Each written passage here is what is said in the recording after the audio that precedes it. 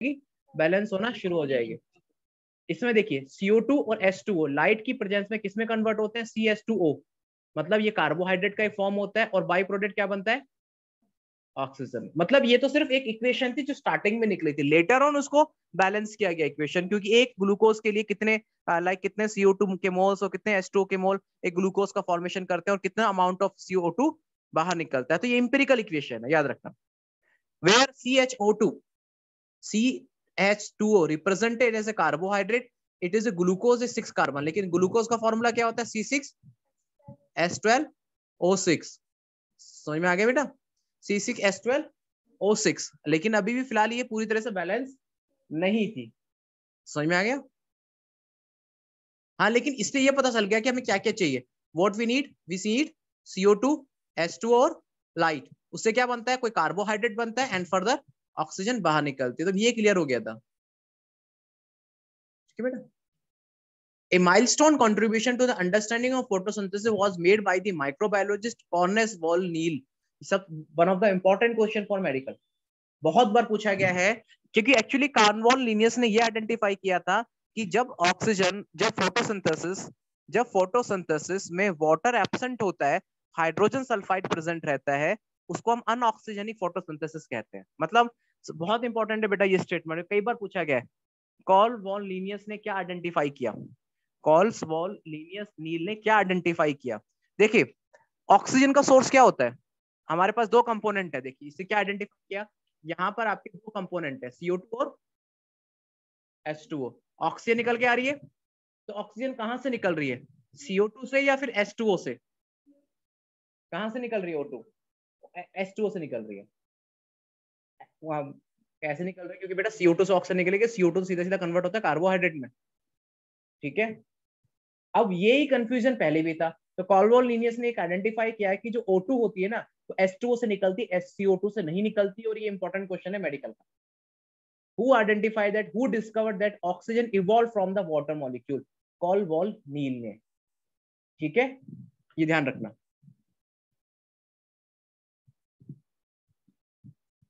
Right? अब उसने कैसे आइडेंटिफाई किया? देखिए इसके लिए इक्वेशन है बेटा ये। इक्वेशन के लिए इक्वेशन है उन्होंने। आ, कुछ देखिए अनऑक्सीजेनिक फोटोसिंथेटिक बैक्टीरिया होते हैं। अनऑक्सीजेनिक फोटोसिंथेटिक बैक्टीरिया जो कि आपके आ, आपने क्या कहते हैं बैक्टीरिया की कैटेगरी पढ़ी होगी। लाइक ग्रीन पर्पल बैक्टीरिया पढ़ा है आपने? येलो पर्पल बैक्टीरिया जो कि जो कि फोटोसिंथेटिक बैक्टीरिया होते हैं। फोटोसिंथेटिक बैक्टीरिया होते हैं। जब उन्हें फोटोसिंथेसिस करना होता है अब देखिए, इस इक्वेशन में आपको फ़र्क क्या नज़र आ रहा है? CO2 अपनी जगह है? है अपनी जगह? यहाँ पर क्या नज़र आ रहा है? क्या नज़र आ रहा है? और ये क्या है? लाइट एनर्जी क्या बन रहा है? ग्लूकोज बन रहा है बेटा? निकल क्या रहा है? क्या निकल रहा है? सल्फ़र निकल रहा है। अगर आपका O2 CO2 से निकला होता तो ऑक्सीजन तो बन जाती ना? हाँ या ना? अगर आपका O2 CO2 से निकला होता तो ऑक्सीजन बनती, लेकिन ऑक्सीजन नहीं निकल रही है। इसका मतलब क्या हुआ कि O2 को बनाने वाला क्या है? H2O O2 को बनाने वाला क्या है? क्योंकि यहाँ पर अब ऑक्सीजन नहीं निकल रहा है यहाँ पे क्या निकल रहा है? सल्फ़र निकल रही है। इसलिए को ग्रीन सल्फ़र और पर्पल सल्फ़र बैक्टीरिया बोला जाता है। अगर इन बैक्टीरिया के अंदर सल्फ़र भरा हुआ होता है। समझ में आ गया? ये सल्फ़र का भी one of the important source है बेटा। और ऐसे फोटोसिंथेसिस को क्या कहते हैं? एन ऑक्सीजनिक एन मतलब जिसमें ऑक्सीजन नहीं निकल रहा हो उसको क्या कहते हैं और यही आइडेंटिफाई करके पॉल वॉल लीनियस ने बोला था कि O2 जो होती है वो कहाँ से निकलती है H2O से निकलती है ये देखिए his studies was based principle uh, based purple and green bacteria photosynthetic light dependent reaction light dependent मतलब light की presence में होती है in which hydrogen from a suitable oxidant compound reduce carbon dioxide to a carbohydrate मतलब in which hydrogen from a suitable oxidized compound reduce the carbon dioxide to a carbohydrate कहने का मतलब क्या है? यहाँ पर आपका CO2 है। CO2 है। इसके साथ हाइड्रोजन ऐड हो गया। देखिए, यहाँ पर आपका इसका हाइड्रोजन किसके साथ ऐड हो गया? CO2 के साथ। और क्या बन गया? इसको क्या बोलते हैं? रिडक्शन बोलेंगे ना। अगर आपका हाइड्रोजन यहाँ से निकला और सीओ टू के साथ में अटैच्ड हो गया तो क्या बोलेंगे इसको? क्या बोलेंगे? और रिडक्शन से क्या बना? ग्लूकोज और रिडक्शन हाइड्रोजन तो उसका निकल गया, बचा क्या? और सल्फ़र बाहर आ गया। क्लियर हो गया? ओके तो यही उन्होंने आइडेंटिफाई किया था। और ये क्वेश्चन आया हुआ है बेटा कि किसने ये कॉलमोनिनियस ने किया था और ये किसमें होता है अनऑक्सीजेनिक फोटोसिंथेसिस ध्यान रखना लाइट डिपेंडेंट रिएक्शन जो होती है ग्रीन एंड पर्पल बैक्टीरिया के अंदर होती है। ध्यान रखना, ये क्वेश्चन कम से कम तीन चार बार आ चुका है। कम से कम आपको मैं शीट दूँगा फोटोसिंथेसिस की, उसमें देखना कम से कम ये क्वेश्चन तीन चार बार आया कई बार निम्ट में पूछा गया, कई बार एम्स में पूछा गया, कई बार क्वेश्चन पूछा गया। ओके हालाँकि शायद एक बार, है, देखिए देखिए। लिख के देख लीजिए। What is what is oxygen is not producing during the photosynthesis देख लीजिए। क्वेश्चन अभी लाइक लेटेस्ट क्वेश्चन ही है। ऑक्सीजन किसमें इवॉल्व नहीं होता है? किसमें बेटा, क्या आंसर आएगा? क्या आंसर आएगा? हाँ नॉट इन प्रोड्यूसिंग है ना? क्या आंसर आएगा? सी साइकस नॉस्टॉक तो देखिए आपके होते हैं ब्लू ग्रीन एल्गी के एग्जांपल्स हैं। ठीक है? आपको ये देखो इसमें एग्जांपल कौन सा है? पक्का? अभी तो पता है ना मैंने बेटा। पर्पल सल्फ़र लिखा रहा है ना सल्फ़र जहाँ पे सल्फ़र लिखा गया मतलब वो क्या है? अनऑक्सीजेनिक फोटोसिंथेटिक परफॉर्म करने वाला बैक्टीरिया तो ग्रीन सल्फ़र लिखा रहा है। इवन कारा भी एल्गी होती है। साइकस भी एल्गी है। ओके इवन लाइक नॉस्टॉक भी एल्गी है, लेकिन इसमें से ग्रीन सल्फ़र बैक्टीरिया क्या है? नॉन एनऑक्सीजेनिक फोटोसिंथेटिक समझ में आ गया? ये क्वेश्चन इसलिए आ चुका है और कई बार क्वेश्चन है। एक बार ही नहीं है, आप सीट में देखो, कई बार ही क्वेश्चन मिलेगा आपको।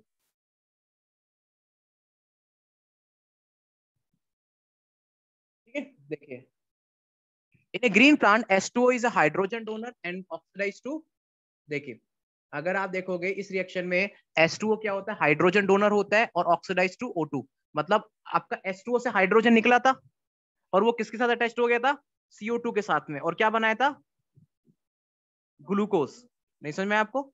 H2O से हाइड्रोजन निकला था और CO2 के साथ अटैच हो गया तो क्या बना था?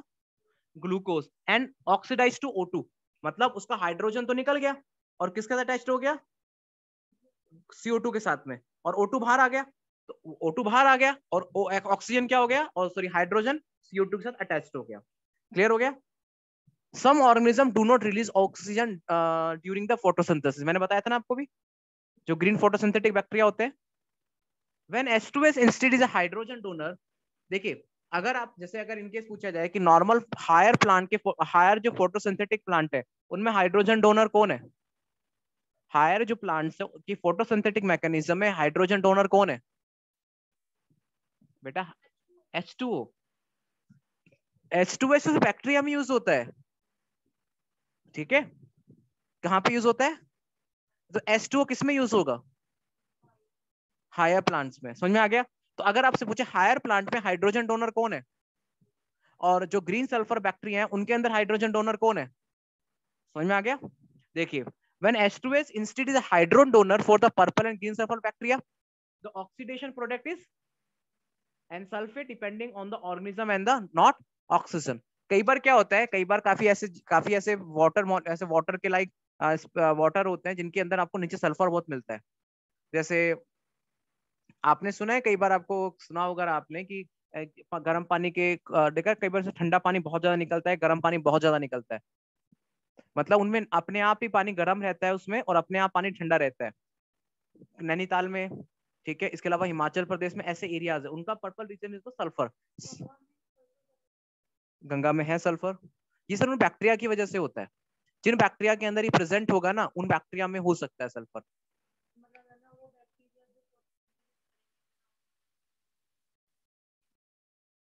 ज़रूरी नहीं है कि नदी में हो। It may be present anywhere कहीं पे भी हो सकते हैं बैक्टीरिया हाँ ये बात श्योर है कि वो वाटर में होते हैं।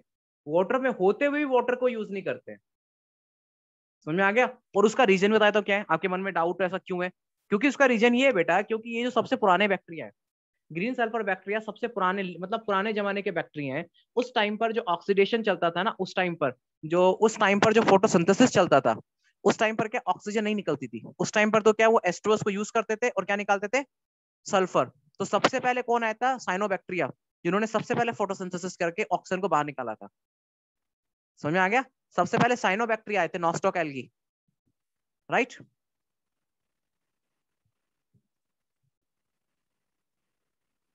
okay.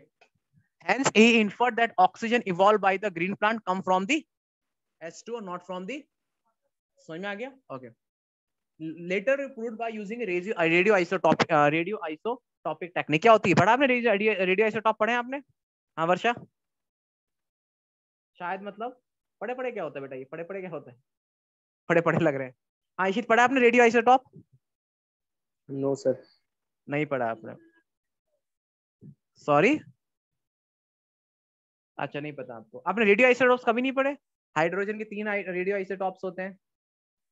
डेट्रियम हाँ कार्बन के भी दो होते हैं नाइट्रोजन के भी दो होते हैं। चलिए मैं बताता हूँ क्या होता है रेडियो आइसोटॉप्स रेडियो आइसोटॉप्स हालाँकि क्या होता है कि एक किसी भी एटम के दूसरे वर्जन होते हैं। ठीक है, एक नॉर्मल होता है, एक रेडियो आइसोटॉप होता है। हालाँकि केमिस्ट्री में रेडियो आइसोटॉप्स का जो यूज़ किया जाता है, वो डिटेक्शन में किया जाता है। जैसे फॉर एन एग्ज़ाम्पल एक रेडियो आइसोटॉप्स मतलब फॉर एन एग्ज़ाम्पल मैं अगर एक आपके ऊपर रेडियो आइसोटॉप लगा दूँ तो आप कहीं पे भी जाओगे, मुझे पता चल जाएगा। ठीक है? तो अगर इन केस मान के चलो फॉर एन एग्ज़ाम्पल जैसे क्रैप साइकिल चल रही थी, क्रैप साइकिल चल रही है ग्लाइकोलाइसिस चला है अब जो क्रैप साइकिल जो कैलविन जो क्रैप साइकिल है क्रैप जिसकी क्रैब ने जिसको डिस्कवर किया था how it get to know that कौन सा ऑर्गेनिक एसिड बना है? उसको कैसे पता चलेगा? ग्लाइकोलाइसिस चल रहा है, उसको कैसे पता चलेगा कि पायरुविक एसिड बन रहा है फॉस्फोग्लिसरिक बन रहा है, इसको कैसे पता चला? रेडियो आइसोटॉप टेक्निक की वजह से। वो क्या करते हैं? किसी एक कार्बन को रेडियो आइसोटॉप कर देते हैं। फिर वो जहाँ जहाँ जाएगा, वो अपना इंडिकेशन बताता जाएगा। जैसे एग्ज़ाम्पल के लिए, मैंने H2O है H2O के ऑक्सीजन को रेडियो आइसोटॉप कर दिया। ठीक है? उसको लेबलिंग कर दी। क्या कर दी? लेबलिंग कर दी। फॉर एन एग्ज़ाम्पल में अगर फॉर एन एग्ज़ाम्पल में आ, आप, आपका नाम स्नेहा है। तो मैं अगर आपके पीछे स्नेहा लिख दूँ तो आप जहाँ जहाँ लोग पता चल जाएगा स्नेहा कहाँ है? वैसे ही क्या करते हैं हमने? S2 है। S2 के ऑक्सीजन पे एक लेबल कर दिया। अब उसका ऑक्सीजन जहाँ जहाँ जाएगा हमें पता चल जाएगा। और जब वो जब वो लेबल्ड ऑक्सीजन बाहर निकल कर आया तो ऑक्सीजन में भी मतलब जो जो H2O का जो ऑक्सीजन है जो बाहर निकल कर आया जो ऑक्सीजन गैस में भी वही लेवल था। तो पता चल गया कि वो H2O से निकल कर आ रहा है। इसे radio isotopic radio isotope technique कहते हैं। एम्स के क्वेश्चन के ध्यान रखना। रेडियो आइसोटॉप टेक्निक क्या होती है? इवन लाइक like आप जब कभी आ, वैसे आप आई थिंक आपको मेडिकल में जाना है लेकिन कभी जो लोग साइंटिस्ट के लिए पोजीशन के लिए ट्राई करते हैं उनको रेडियो आइसोटॉप टेक्निक सिखाई जाती है। लेबलिंग कैसे की जाती है? ओके देखिए करेक्ट इक्वेशन क्या था? पहले वाली इक्वेशन कौन सी थी? इंपेरिकल इक्वेशन कैसी थी? उसमें क्या था? बैलेंस नहीं था। ठीक है? और ये कैसी है? बैलेंस है। समझ में आ गया? uh, जिसमें क्या है? C C O two okay twelve S two O light की प्रेजेंस में आपका देखिए यहाँ पर आपके लाइट की प्रेजेंस में बात सुनी इसमें क्या थोड़ा सा आपकी बुक में हल्का सा इंटरफेरेंस दे रखा है कि क्या होता है कि जनरली यहाँ पर ये एस टू बाहर नहीं निकलता है। ये सिक्स एस टू होना चाहिए। लेकिन ये बुक ये डायरेक्ट इक्वेशन मैंने एनसीआरटी से ली है। अब एनसीआरटी में कुछ भी दिया हुआ है, वो गलत नहीं मानना है। समझ में आ गया? नहीं समझ में आ रहा? एक्चुअल इक्वेशन कैसी होनी चाहिए? एक्चुअल इक्वेशन ऐसी होती है, जो एक्चुअल इक्वेशन होती है, वो इस तरीके की होती है। ठीक है? यहाँ पर इतना होता है कि सिक्स सिक्स एस टू होता है, ठीक है? और क्या निकलता है?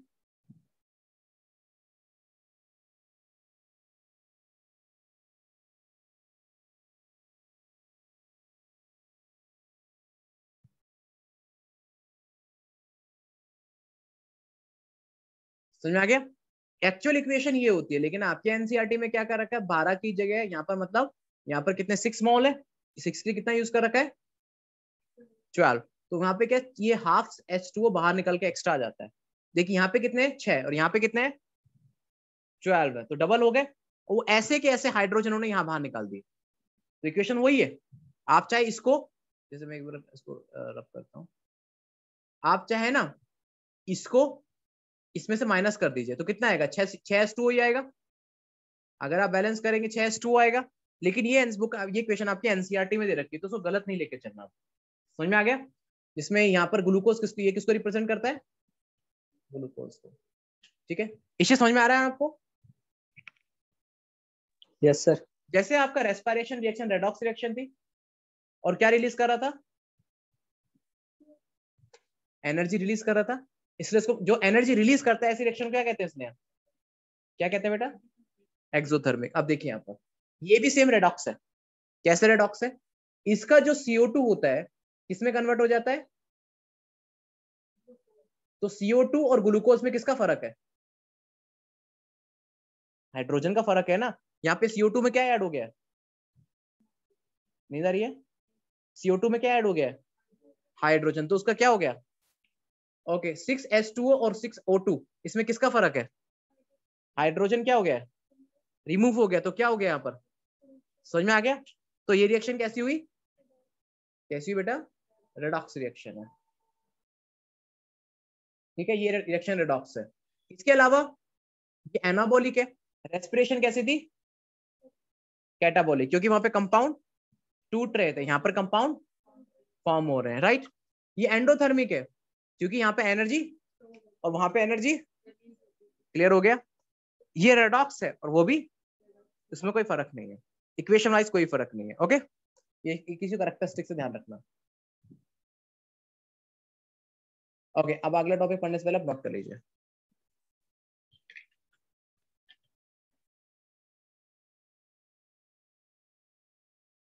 नोट कर लीजिए इसी समझ में आ गया ना आपको? यस सर ओके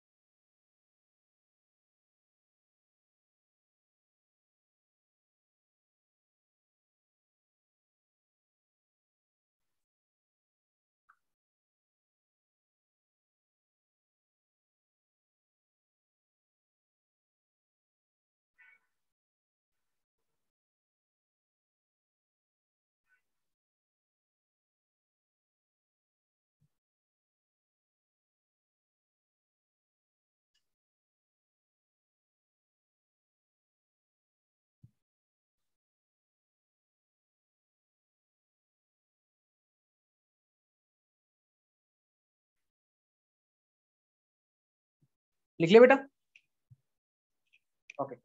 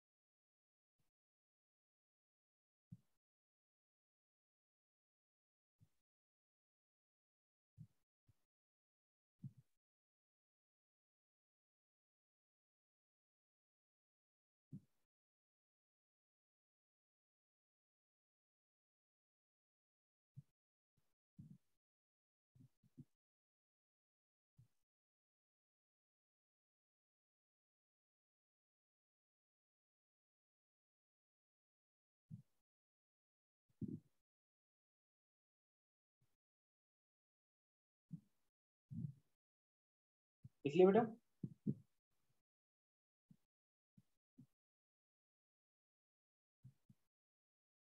अपने इसे नोट पूरे कर लो। और क्वेश्चन कहाँ तक सॉल्व कर लिए? रेस्पिरेशन में।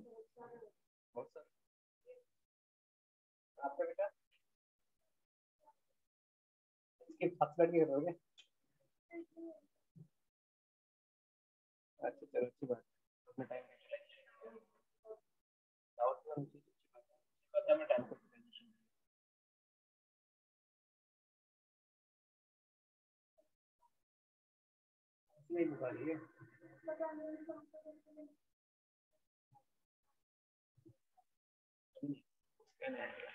नहीं वो क्या कर रहे हैं? नोट कर लेता आपने ओके एक्चुअली क्या कर रहे हैं कि जो पुराना सिलेबस हटा था ना, उसी फॉर्म में नए प्रिंट निकाल रहे हैं। अभी आरबीएस ने सिलेबस ही डिफाइन नहीं किया तो कहाँ से नया सिलेबस हो जाएगा? आरबीएस से पहले कभी नया डिफाइन करेगी तो हेलो?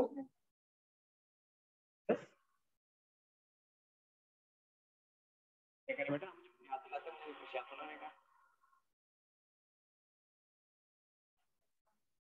आप ऐसे मतलब निकलने से पहले याद दिला याद रहेगा।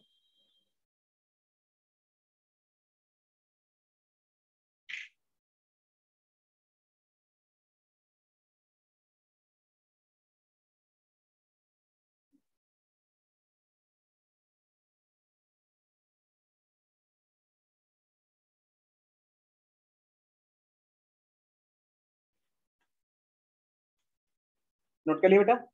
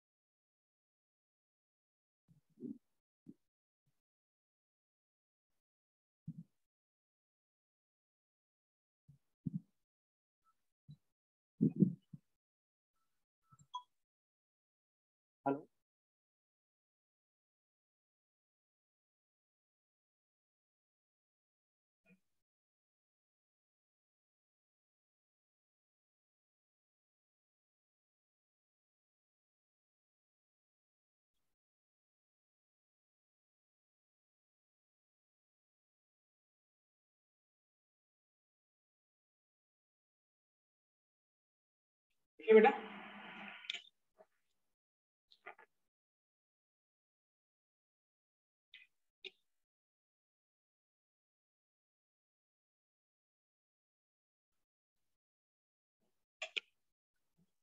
hello yes ma'am uh, around call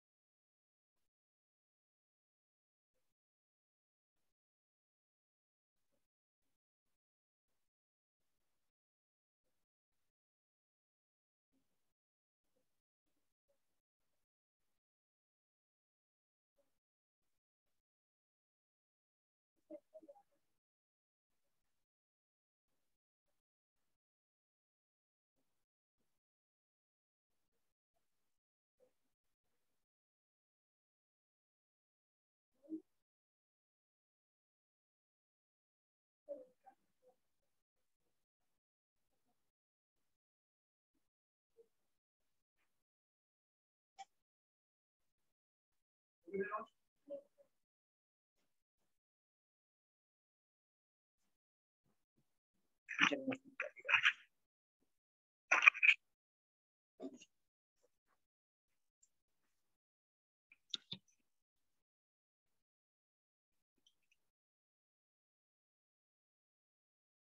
month थोड़ा सा डेंजरस है इस मंथ में थर्ड आने के काफ़ी चांसेस हैं। ये मंथ ये मंथ अगर निकल गया सेफ्टी से चांसेस कम हो जाएँगे। ध्यान से रहना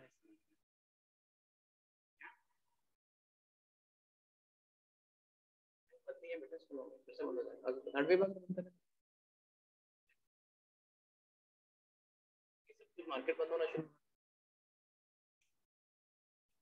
में बंद किया जाएगा फिर से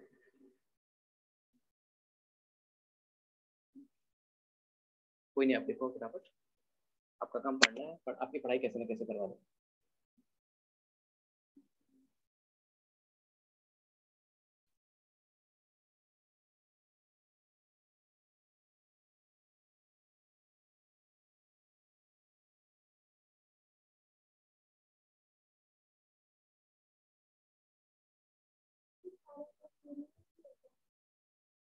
नहीं कोरोना सीरियस नहीं है। लेट्स वॉन नेम है। कोरोना सीरियस नहीं है बेटा। ठीक है।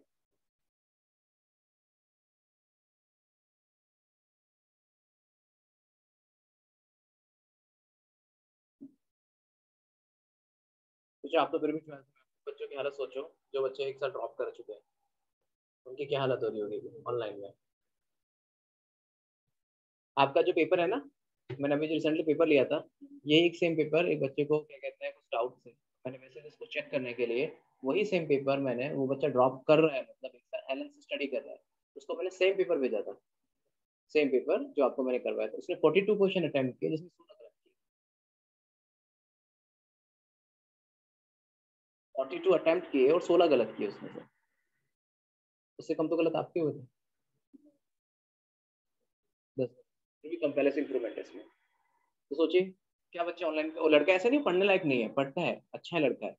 लेकिन फिर भी देख लीजिए क्या हालत है उसकी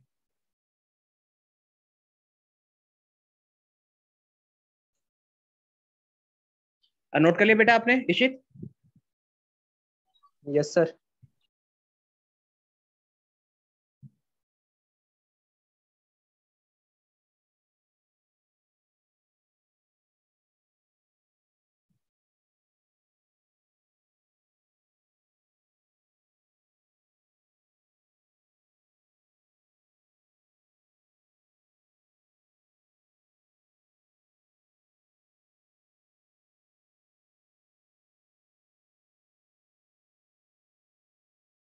चलिए बेटा नोट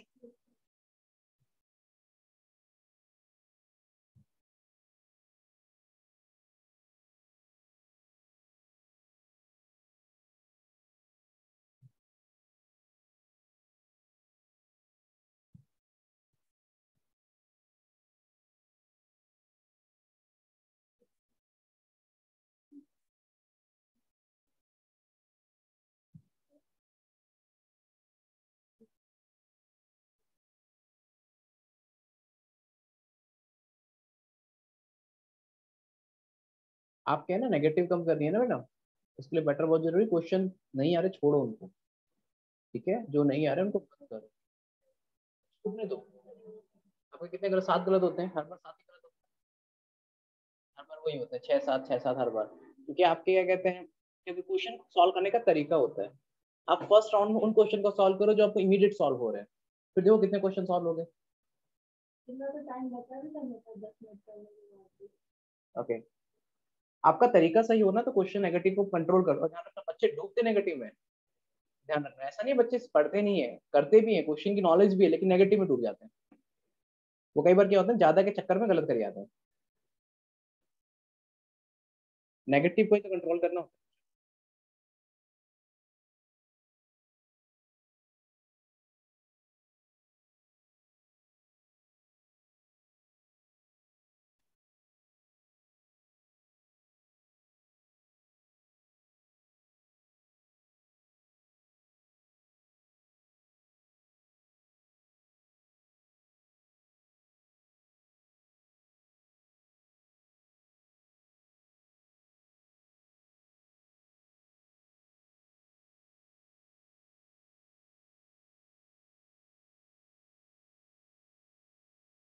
नोट अपने? इसका आंसर आएगा green sulphur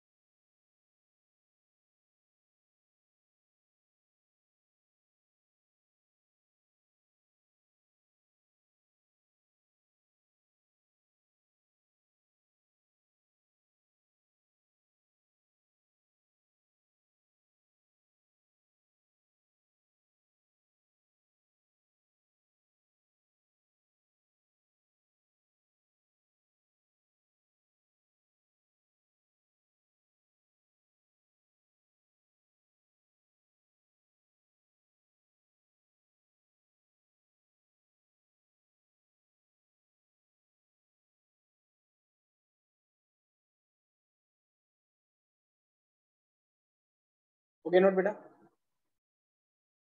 हो गया बेटा?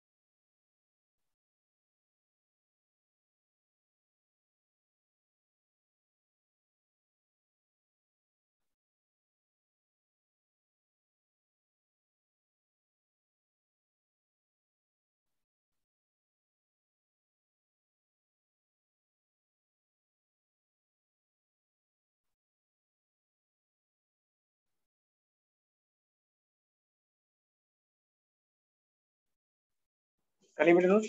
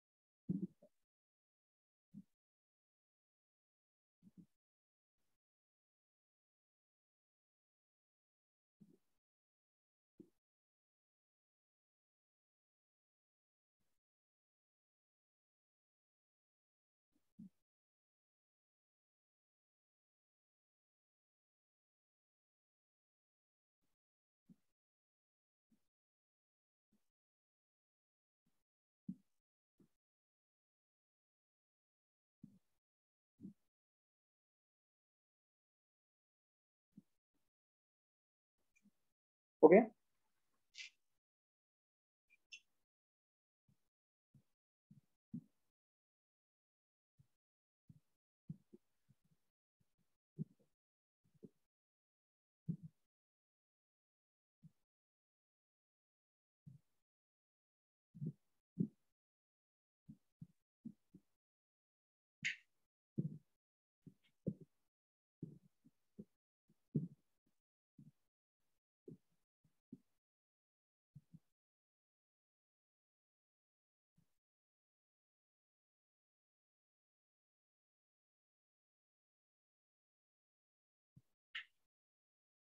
कर लिया बेटा आपने नोट स्नेहा आपने? ओके इशित आपने कर लिया नोट हाँ sir okay another characteristic of this reaction.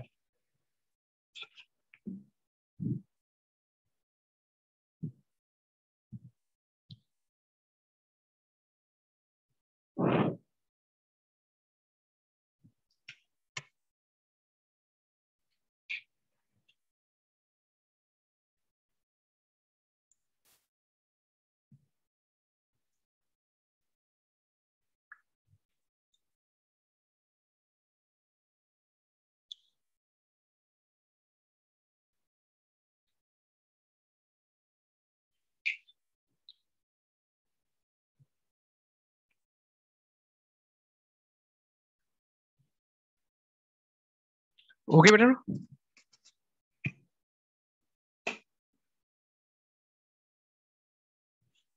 क्या खत्म हो गया?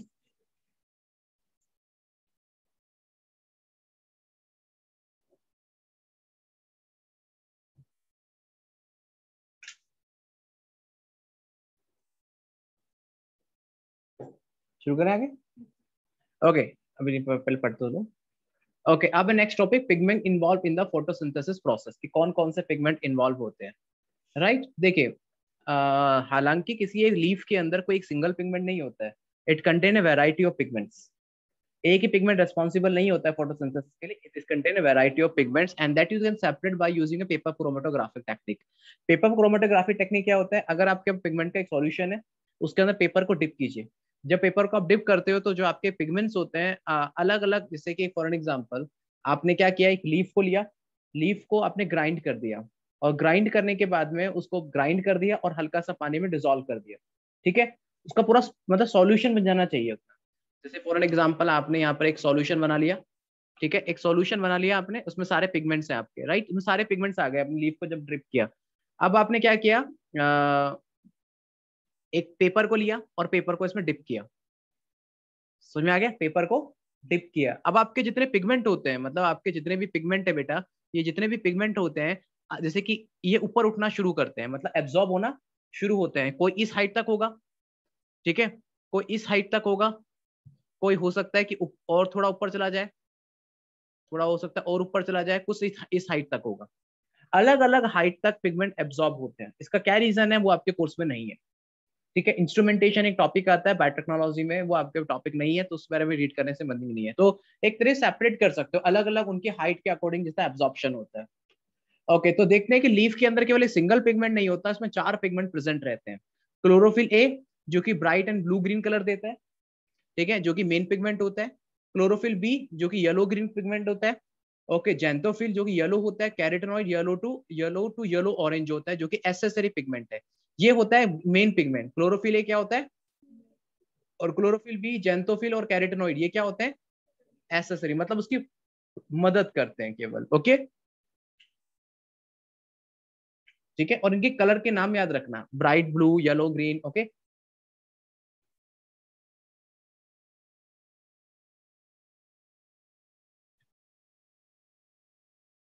Okay pigment क्या होते हैं बेटा? They are like a substances which absorb the light at some different different wavelength actually क्या होता है? पिगमेंट इज़ नथिंग पिगमेंट क्या होता है कि एक कुछ नहीं होता बेटा? पिगमेंट क्या होता है? एक स्पेसिफिक एक एंटीना मॉलिक्यूल होता है जो कि लाइट को एब्जॉर्ब करता है.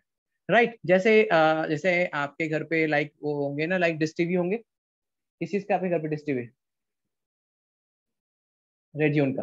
तो रेडियोन का क्या टावर नहीं होता जैसे मान के चलो एयरटेल वगैरह या फिर डिश टीवी किसी का भी होता है, टाटा स्काई का। तो एक पर्टिकुलर फॉर एन एग्ज़ाम्पल आपने एयरटेल डिश टीवी का आपने लगा दिया। तो उसके बाद में आप एयरटेल टिप्स टीवी का ही कनेक्शन वो पकड़ेगा। तो एंटीना क्या करता है, एक स्पेसिफिक वेवलेंथ पे लाइट को एब्जॉर्ब करता है। तो पिगमेंट वो मॉलिक्यूल होता है जो कि स्पेसिफिक वेवलेंथ पे लाइट को एब्जॉर्ब करेगा। सो ऑल द पिगमेंट मतलब जिसमें चारों पिगमेंट थे, वो अलग अलग वेवलेंथ पे लाइट को एब्जॉर्ब करते हैं। वेवलेंथ का आइडिया ना क्या होता है? स्नेहा वेवलेंथ पता है ना क्या होता है? वेवलेंथ को किससे लिखते हैं? वेरी गुड लैम्डा से। यूनिट यूनिट क्या होती है उसकी? मीटर होती है बेटा। नैनोमीटर इतना बड़ा इतना बड़ा वेवलेंथ नहीं होता कि मीटर में मेजर कर लोगे। नैनोमीटर ठीक है बेटा? स्पेक्ट्रम याद है? स्पेक्ट्रम उसमें सब कुछ नैनोमीटर में लिखा जाता है। तो आपकी जो वेव जो मतलब हर एक पिगमेंट अलग अलग वेवलेंथ पे लाइट को एब्जॉर्ब करेगा। बस simple point chlorophyll A chlorophyll A जो होता है बेटा, वो मेन पिगमेंट होता है जो कि लाइट को एब्जॉर्ब होता है, इसको कोर या मोलिक्यूल पिगमेंट कहते हैं। समझ में आ गया? सब ये मतलब क्लोरोफिल ए तो यूनिवर्सल पिगमेंट है। ये सब में ही प्रेजेंट होगा, लेकिन जो एसेसरी पिगमेंट्स होते हैं, वो अलग अलग हो सकते हैं। डिपेंड करता है वो कौन सा लाइक कौन सा ऑर्गेनिक कौन सा वो लिविंग सब्सटेंस है। Other accessory pigment also absorb the light at different different wavelength and provide the light to the main pigment called the antenna pigments मतलब जो कोर पिगमेंट होता है, वो क्लोरोफिल ए है। वो सब में यूनिवर्सल होता है, लेकिन जो अदर पिगमेंट्स हैं एसेसरी पिगमेंट्स होते हैं, वो भी लाइट को एब्सॉर्ब करते हैं और लाइट को एब्सॉर्ब करके किसको देते हैं? क्लोरोफिल ए को। इसलिए इनके जो अदर पिगमेंट्स है, उनको हम क्या बोलते हैं? एंटीना पिगमेंट्स इनको एंटीना पिगमेंट्स बोला जाता है। क्लियर हो गया? Accessory pigment not only enable a wider range of the wavelength of incoming light, इसके अलावा जो मेन पिगमेंट होता है, उसको फ़ोटो ऑक्सीडेशन से बचाते हैं। अब फ़ोटो ऑक्सीडेशन क्या होता है? फ़ोटो ऑक्सीडेशन क्या होता है? वो तो एक आपने एक आपने तो सिंपल फॉर्म कन्वर्ट कर दिया। एक प्रॉपर डेफिनेशन दो फ़ोटो ऑक्सीडेशन की। आयशत क्या होता है बेटा photo oxidation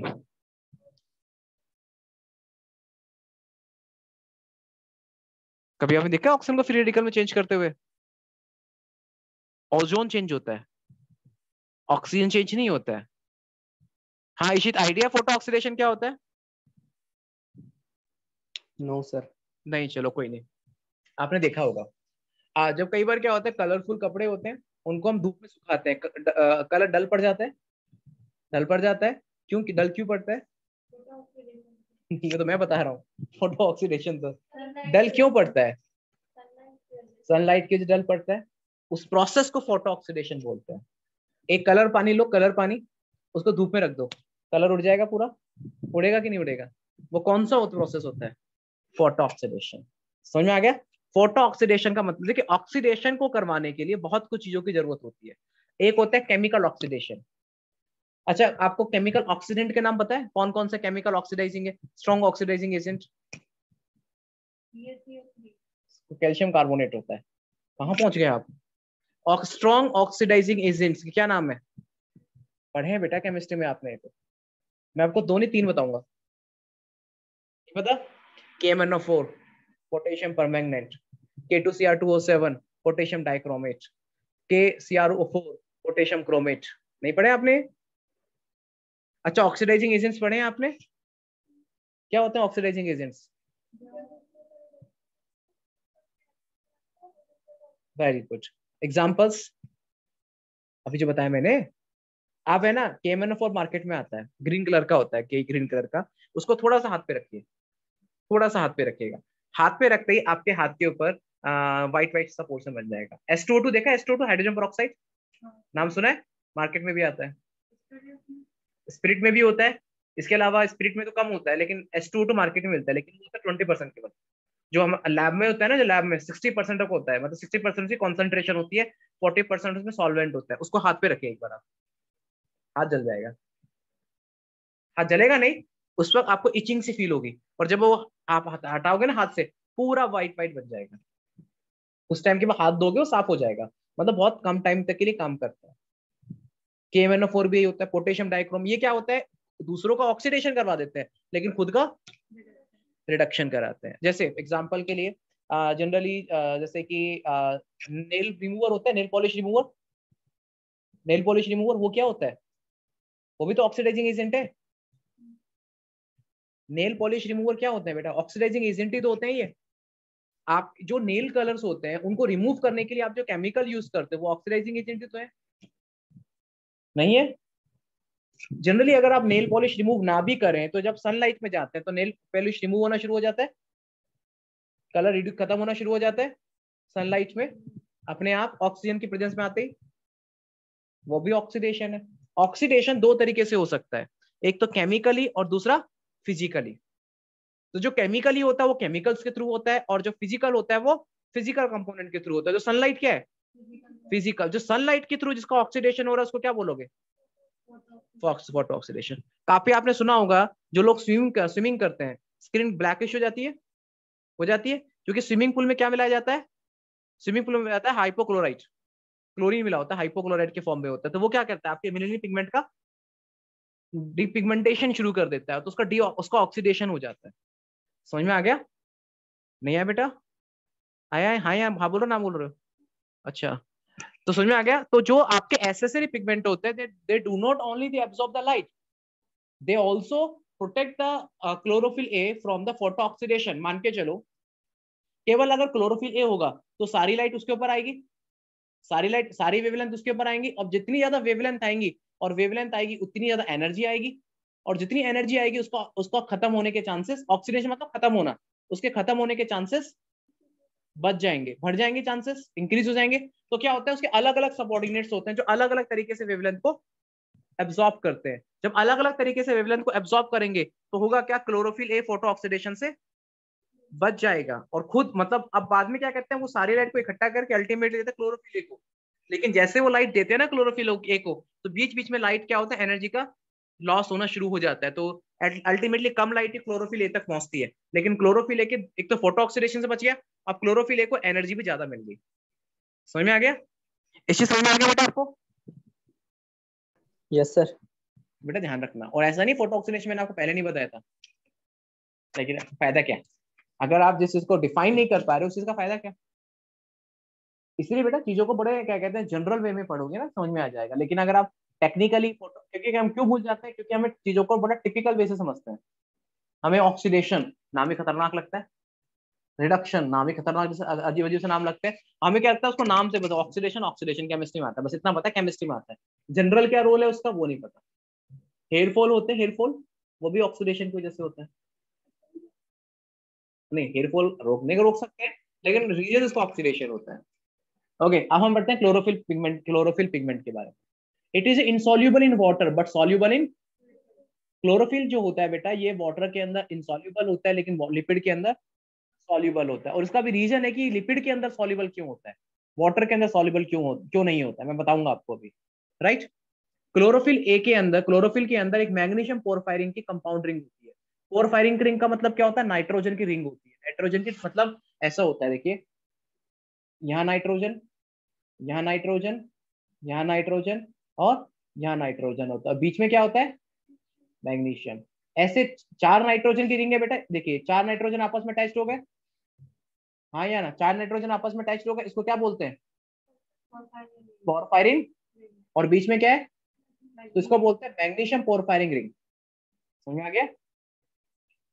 What it has? It has a hydrophilic head or hydrophobic tail and cluster of pigment are embedded into the membrane. देखिए, अभी किसकी मेम्ब्रेन में पाए जाते हैं?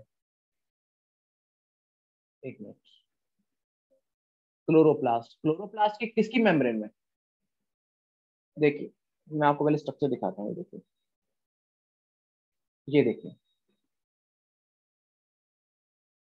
ये एक थैलेकॉइड है। थैलेकॉइड याद है? क्लोरोप्लास्ट का अगर आपको स्ट्रक्चर याद हो तो क्लोरोप्लास्ट में क्या था? क्लोरोप्लास्ट में क्या था बेटा? क्लोरोप्लास्ट में आपके, ये क्लोरोप्लास्ट था?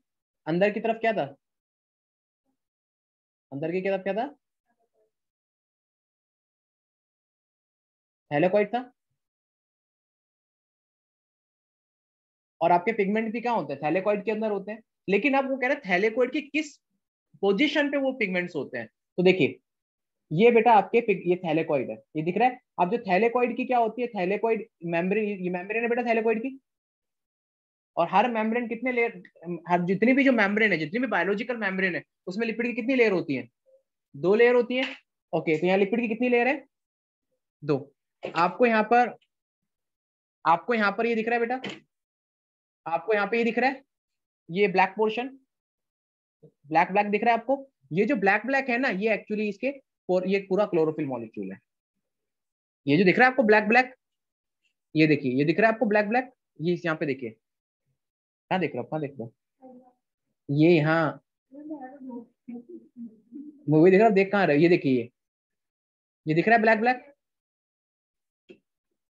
अब देखिए ये क्लोरोफिल मॉलिक्यूल है। अब ये क्लोरोफिल मॉलिक्यूल कहाँ पर है? ये सरफेस पे होते हैं मेम्ब्रेन के ऊपर एम्बेडेड होते हैं। अंदर नहीं होते हैं।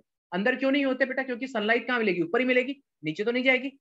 अब सरफेस अब देखिए, ये अगर आप देखोगे, ये क्या होता है? ये लिपिड मॉलिक्यूल है। लिपिड है कि नहीं है? अगर ये लिपिड के ऊपर एम्बेडेड होते हैं, ठीक है? देखिए यहाँ पर, अब इसका दो रीजन बना होता है, देखिए आप ये होती है पोर फायरिंग देखिए यहाँ पर, मैं बताया था ना? ये तो पोर फायरिंग रिंग होती है जो कि हाइड्रोफिलिक होती है, और ये क्या होता है?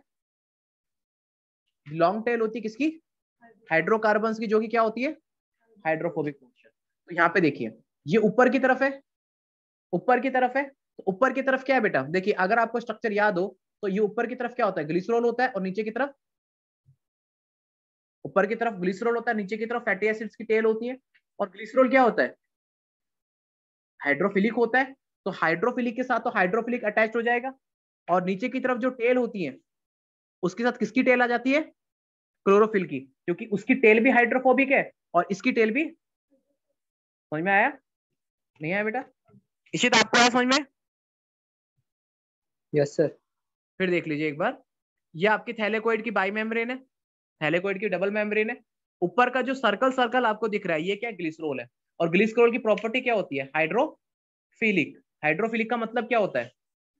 वाटर से फिलिक फिलिक मतलब लव करने वाला। तो ये आपका वाटर से लव करता है। इसलिए ये पोर्शन तो क्या कहलाएगा बेटा? हाइड्रोफिलिक और ये ऊपर क्या होता है? और नीचे की तरफ़ दिख रही है आपको लंबी लंबी टेल ये? और ये क्या होती है? हाइड्रोफोबिक तो ये टेल क्या होती है? हाइड्रोफोबिक उसके साथ नीचे लटकी हुई। मतलब ये एक्चुअली क्या होता है कि आपका जो क्लोरोफिल मॉलिक्यूल होता है, उसका जो पोर फायरिंग रिंग होती है तो ऊपर होती है और जो टेल होती है, वो नीचे की तरफ़ लटकी हुई होती है। एक्चुअल जो रीजन काम आता है ना बेटा ऑक्सीडेशन में, वो ये वाला रीजन काम आता है हाइड्रोफोबिक हाइड्रोफिलिक पोर्शन हाइड्रोफोबिक तो क्या होता है उसको मेम्ब्रेन में स्टेबल बनाता है समझ में आ गया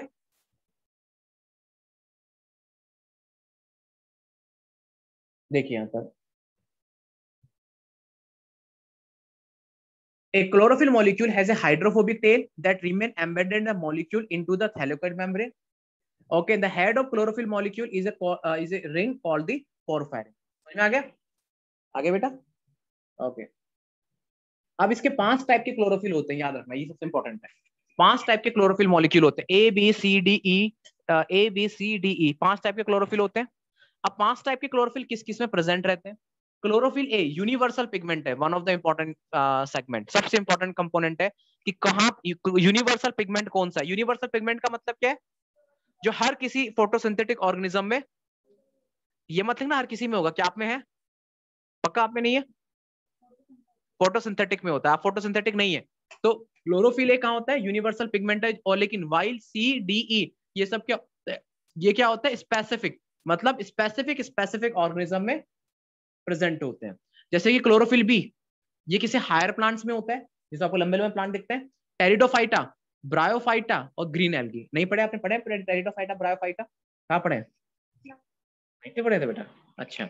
ब्रायोफाइटा टेरिडोफाइटा क्या होते हैं? हाँ? इलेवंथ में पढ़े थे वेरी गुड टेरिडोफाइटा और जो ब्रायोफाइटा होते हैं ग्रीन एल्गीज होते हैं ये लोअर वर्जन के प्लांट्स है। ठीक है आपको पढ़ाऊँगा इलेवंथ में चिंता मत करिए। ओके क्लोरोफिल ए का स्ट्रक्चर याद रखना बेटा। ये एम से पूछा गया है। C fifty five H seventy two O five N four M G nitrogen की चार रिंग है चार नाइट्रोजन था और बीच में क्या था? और आ, इसका ये नंबर तो मुझे याद रखना। क्लोरोफिल बी का स्ट्रक्चर क्या होता है? C fifty five H seventy O six N four M G right तो मतलब हायर प्लांट के अंदर क्लोरोफिल ए क्लोरोफिल बी तो होगा ही होगा। ओके और हायर प्लांट्स के अंदर ध्यान रखना क्लोरोफिल बे ए और बी का जो रेशो होता है वो थ्री टू वन होता है।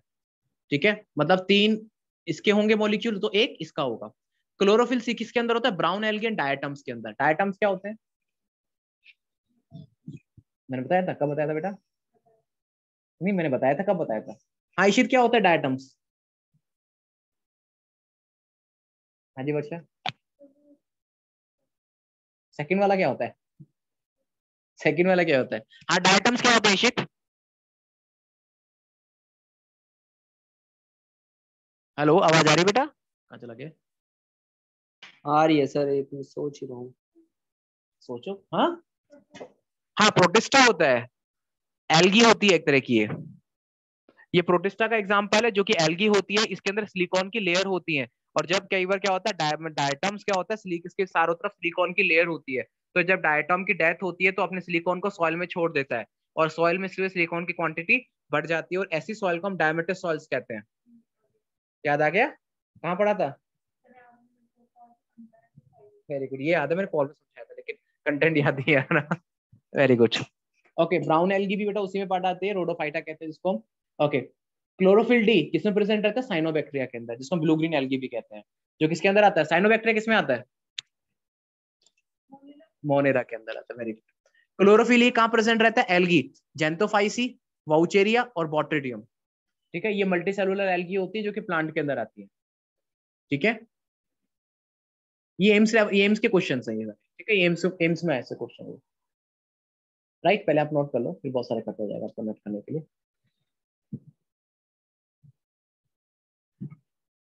ओके. बेटा याद आया डायटम्स का भूल गए। हाँ सर। याद आ गया?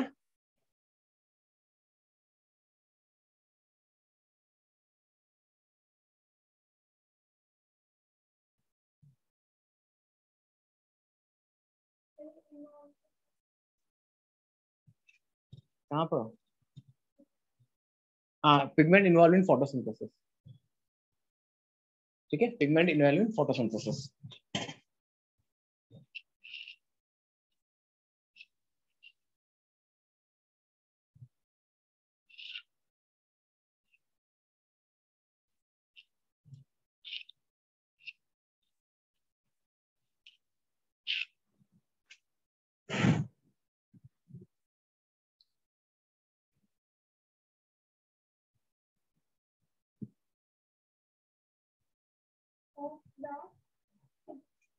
sorry कहाँ पे? Of the leaf leaf leaf leaf एक मिनट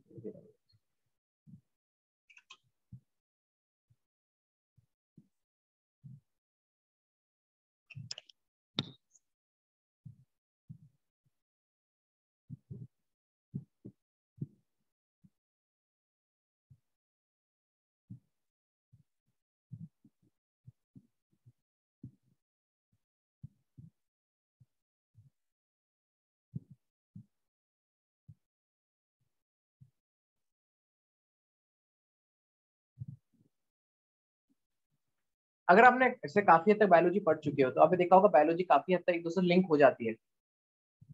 बेटा? फील क्या है कई बायोलॉजी के काफ़ी कॉन्सेप्ट एक दूसरे से लिंक हो जाते हैं।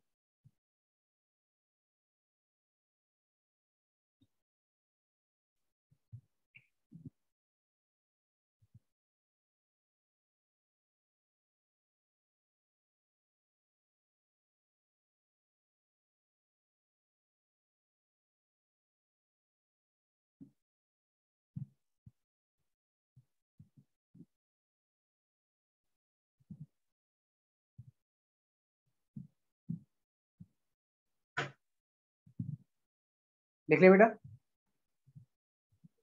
Okay okay.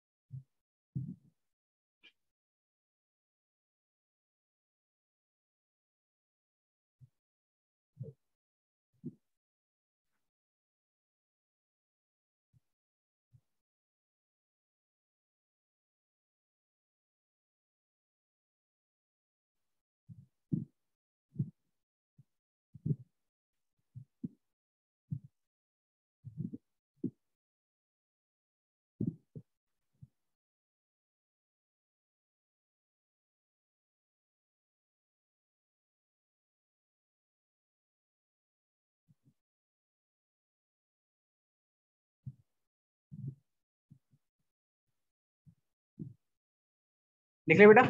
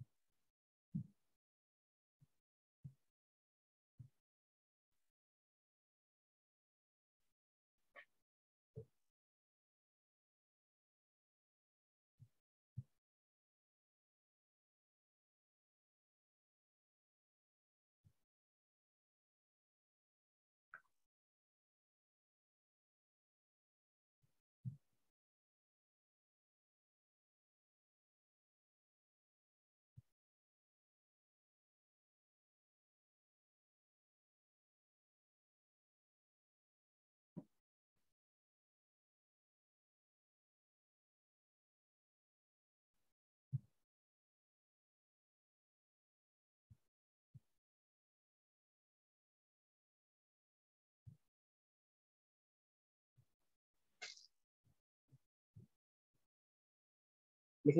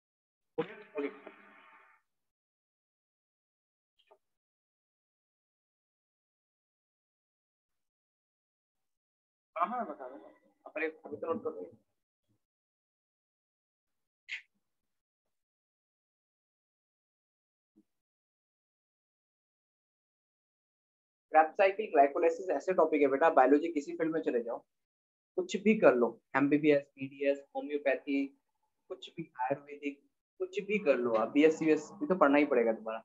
ये तो हर बार आता है। क्रैप साइकिल हो जाएगा बेटा। आपको लग रहा है? आप तो कुछ भी नहीं, हम तो मैं जब 2005 में ट्वेल्थ में था, हम तो फॉर्मूले लिख के आता केमिकल फॉर्मूला लिख दो हाइड्रोजन निकल गए OH निकल गया। खैर, वो ज़्यादा इजी भी रहता है क्योंकि मुझे केमिस्ट्री अच्छी लगती थी। काफ़ी लोग केमिस्ट्री टफ लगती तो उनके लिए टफ लगता था।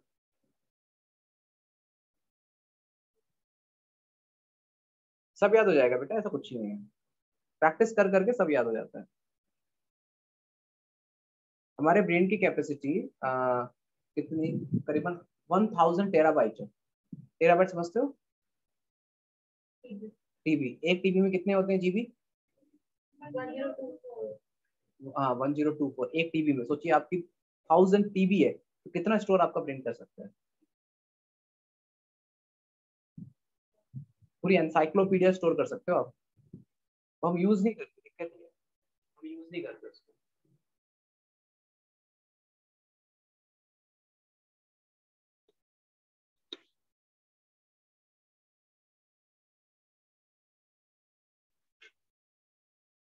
ओके नोट कर लिया?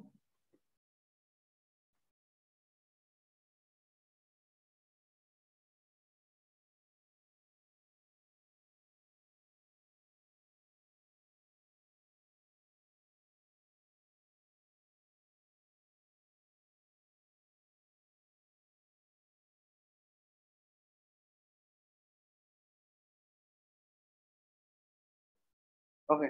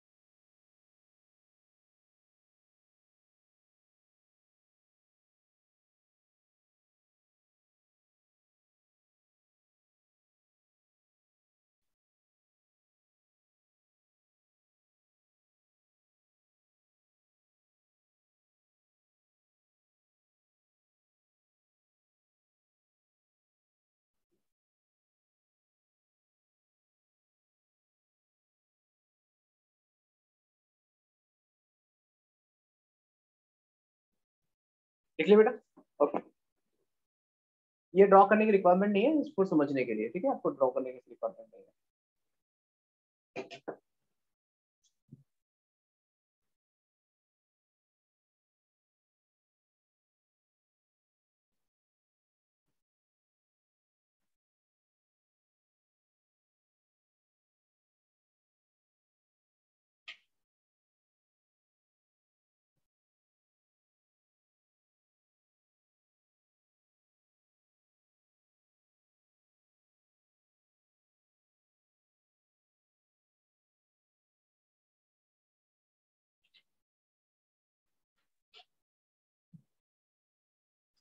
लिख लिया बेटा।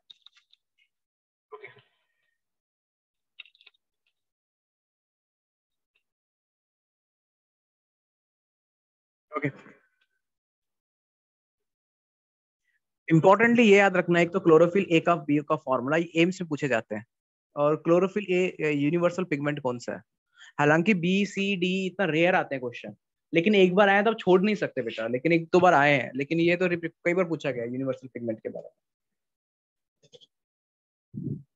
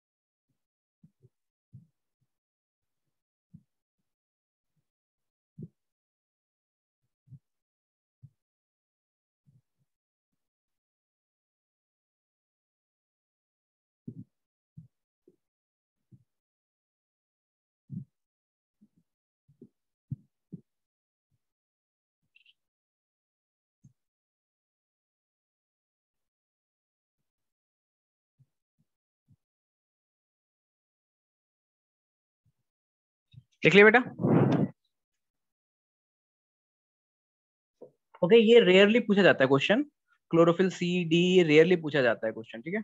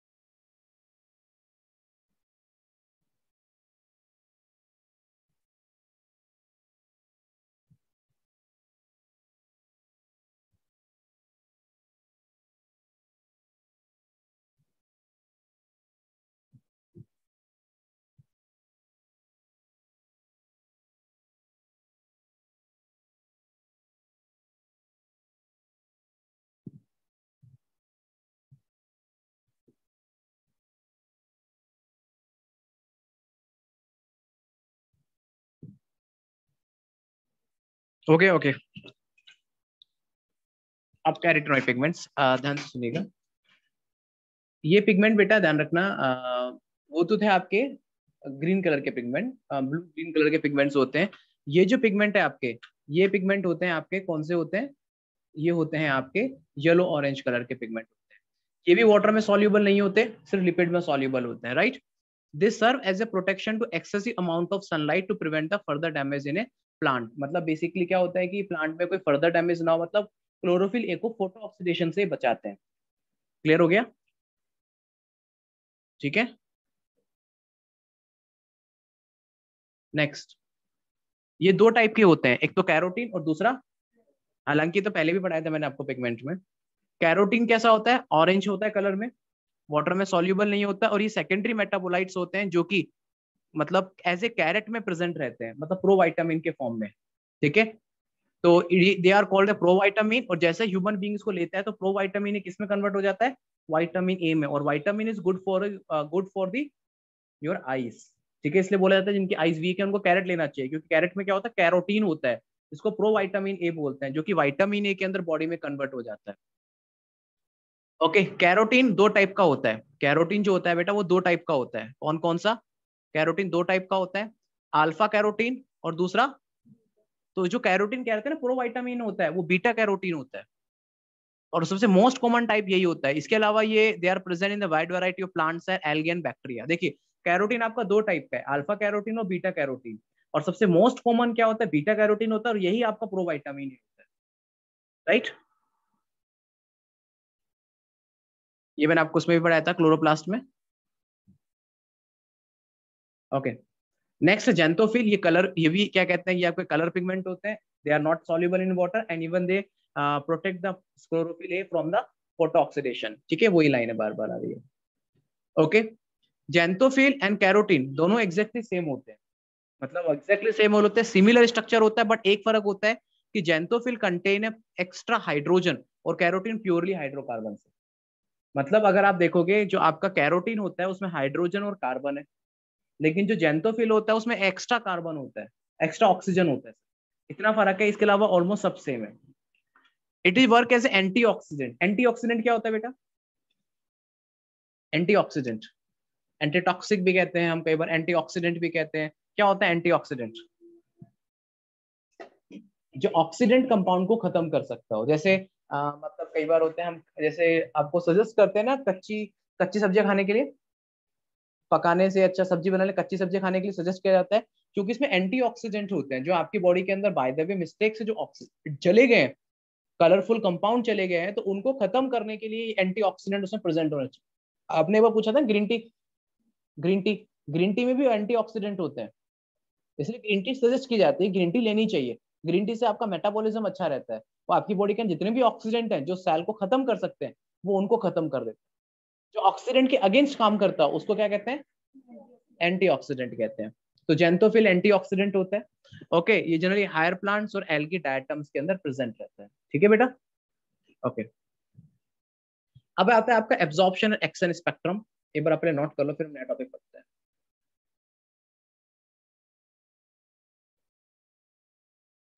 पहले हालाँकि ये तो बार बार रिपीट होगा, इसमें कोई ये कोई नए नए टर्म्स नए टर्म्स नहीं है। इसी समझ में आ रहा है ना आपको? यस सर ओके बेटा।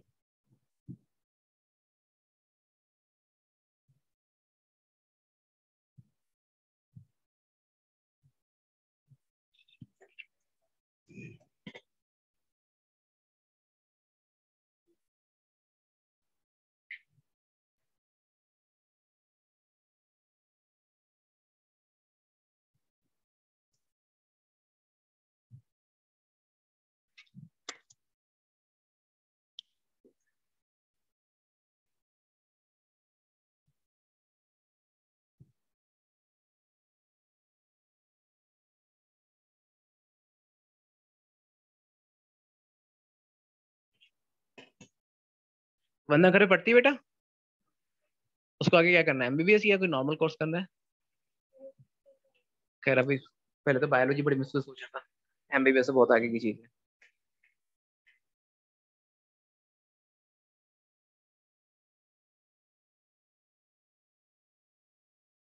कोई दिक्कत नहीं, जो आपको अच्छा लगता है वो करना चाहिए। कभी प्रेशर नहीं डालना चाहिए हमें ये करना है। आपको अगर एमबीबीएस लगता है एमबीबीएस करो।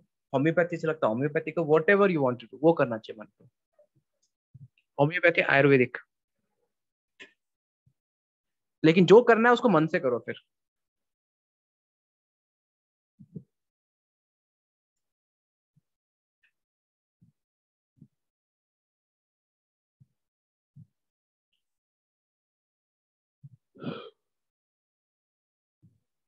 हो गया बेटा नोट? ओके। मैं वो गारंटी दे रहा हूँ, जो आपको नोट्स दें, एक क्वेश्चन आपको बाहर नहीं मिलेगा कभी भी।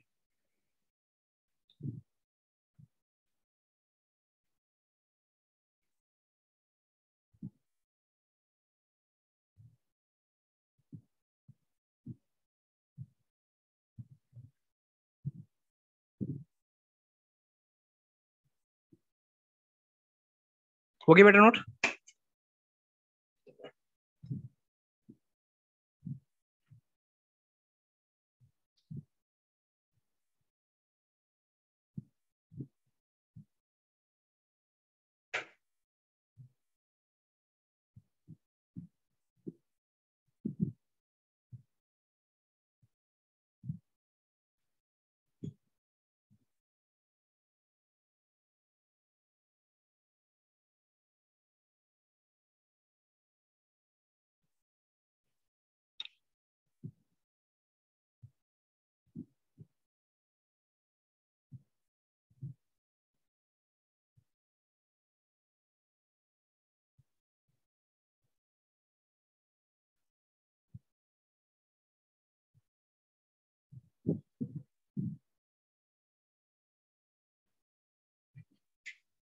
कल ही बटन उठ ओके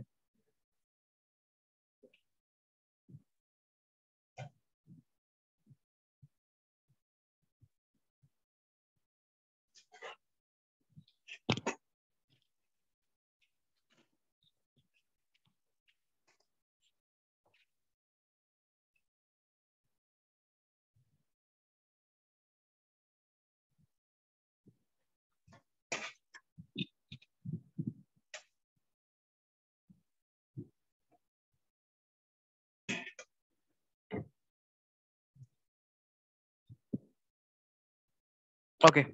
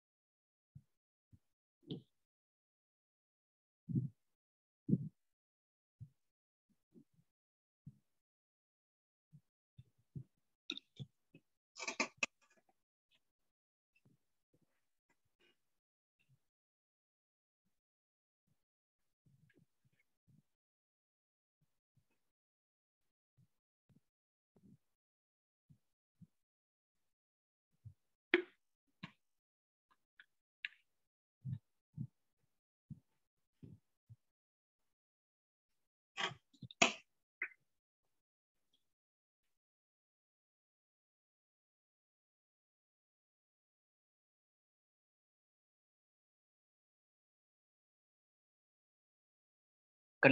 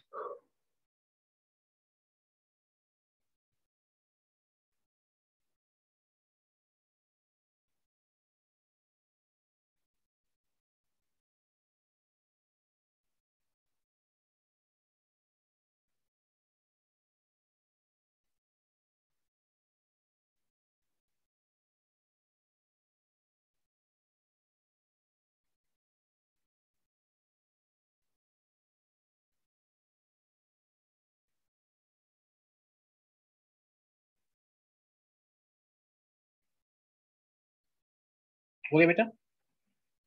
ओके फिर लास्ट स्लाइड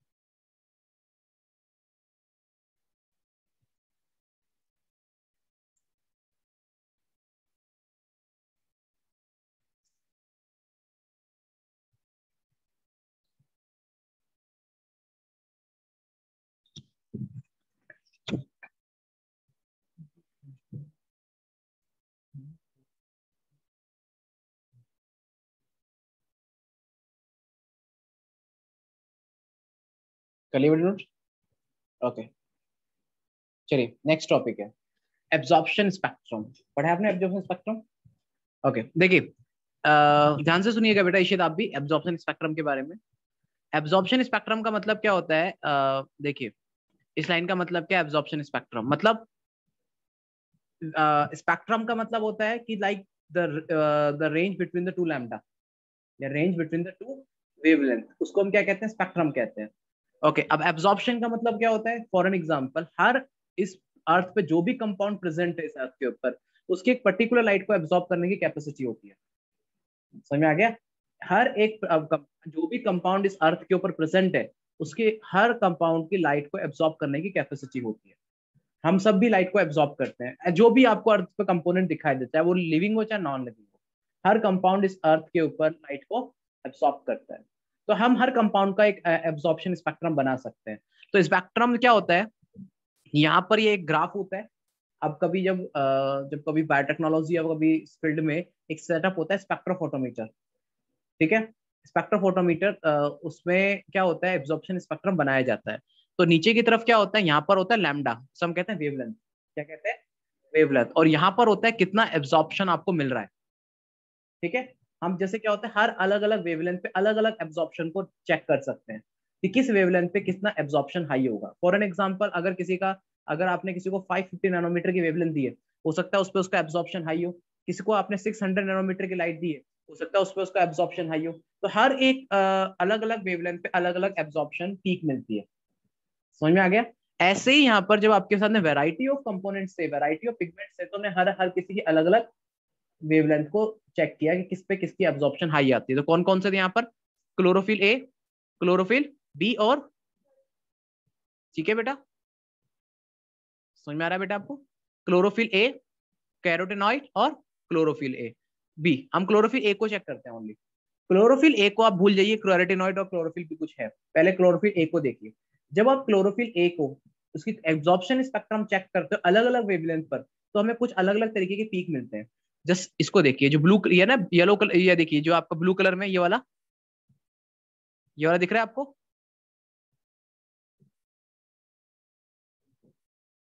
ठीक है? अब आपका जो वेवलेंथ का सीक्वेंस कैसा होता है? विबजो पढ़ा आपने विबजो वेवलेंथ का सीक्वेंस कैसा होता है? विबजोर के जैसा। मैं यहाँ पे लिख देता हूँ फिर भी। Okay VIBGYOR V I B G Y O R कैसा होता है बेटा? विबजोर होता है राइट अगर आप देखोगे, इस विबजोर में सबसे हाईएस्ट वेवलेंथ किसकी है? हाईएस्ट वेवलेंथ बेटा आप वेवलेंथ सबसे हाईएस्ट रेड की होती है वी सबसे शुरुआत की होती है, और सबसे मिनिमम वेवलेंथ वॉयलेट की होती है। समझ में आ गया? और सबसे हाईएस्ट वेवलेंथ रेड की होती है। इसे विजिबल स्पेक्ट्रम भी कहते हैं। समझ में आ गया? तो अगर आप जब इसमें कर्व को देखा तो पता चला कि कर्व में, इस कर्व में पता चला कि यहाँ पर आपको दो पीक मिल रहे हैं। इसमें देखिए पीक कितने इसमें। एक ये रहा और दूसरा ये रहा। हल्का छोटा सा पीक, हालाँकि इसको भी आप काउंट कर रहे होंगे, लेकिन यहाँ बहुत छोटा पीक है, ये वैलिड नहीं होता। दो पीक मिल रहे हैं, पहला और दूसरा। दो पीक मिल रहे हैं बेटा। ठीक है, एक पीक किस मिल रहा है, एक पीक मिलता है बेटा आपको। ये अगर आप देखोगे तो यहाँ पर एक्चुअली अगर आप नीचे अगर देखोगे वेवलेंथ तो एक पीक मिलता है हमें ब्लू कलर पे। किस पे? ब्लू कलर पे। और दूसरा किसमें मिलता है? रेड पे। समझ में आ गया? इसी समझ में आ रहा है आपको? यस yes, सर थोड़ा सा नया टॉपिक है आपके लिए तो ध्यान से देखिएगा। अगर आप यहाँ पे देखते हो तो आपको दो पीक मिलते हैं। पीक मतलब हाईएस्ट एब्जॉर्प्शन है। हाईएस्ट किस किस पे हाईएस्ट एब्जॉर्प्शन मिली है? ब्लू और? तो मतलब इसका ये हुआ इसका मतलब है कि क्लोरोफिल ए ब्लू और रेड लाइट पे हाईएस्ट एब्जॉर्प्शन शो करता है। क्लियर हो गया? ब्लू और रेड पे हाईएस्ट एब्जॉर्प्शन शो करता है। ओके, अब यहाँ पे देखिए, अभी तो क्लोरोफिल ए की बात हुई। अब क्लोरोफिल बी की बात देखिए यहाँ पर आप। क्लोरोफिल बी क्लोरोफिल बी में कितने पीक है? एक, दो। समझ में आ गया? दो यहाँ पे दो पीक मिल रहे हैं आपको। एक यहाँ मिल रहा है, दूसरा यहाँ मिल रहा है। ओके कैरेटोनॉइड पे कितने पीक है? एक, दो। क्योंकि कैरेटोनॉइड दो होते हैं। कैरेटोनॉइड दो होते हैं ना आपके। अल्फ़ा कैरोटीन और बीटा कैरोटीन इसकी वजह से क्या होता है? आपको दो पीक मिलते हैं। क्लियर हो गया? ठीक है, चलिए, अब आपको आपको ये ग्राफ को थोड़ा सा एक्सप्लेनेशन मोड में देखते हैं। तो इस ग्राफ से हमें क्या क्या पता चलता है?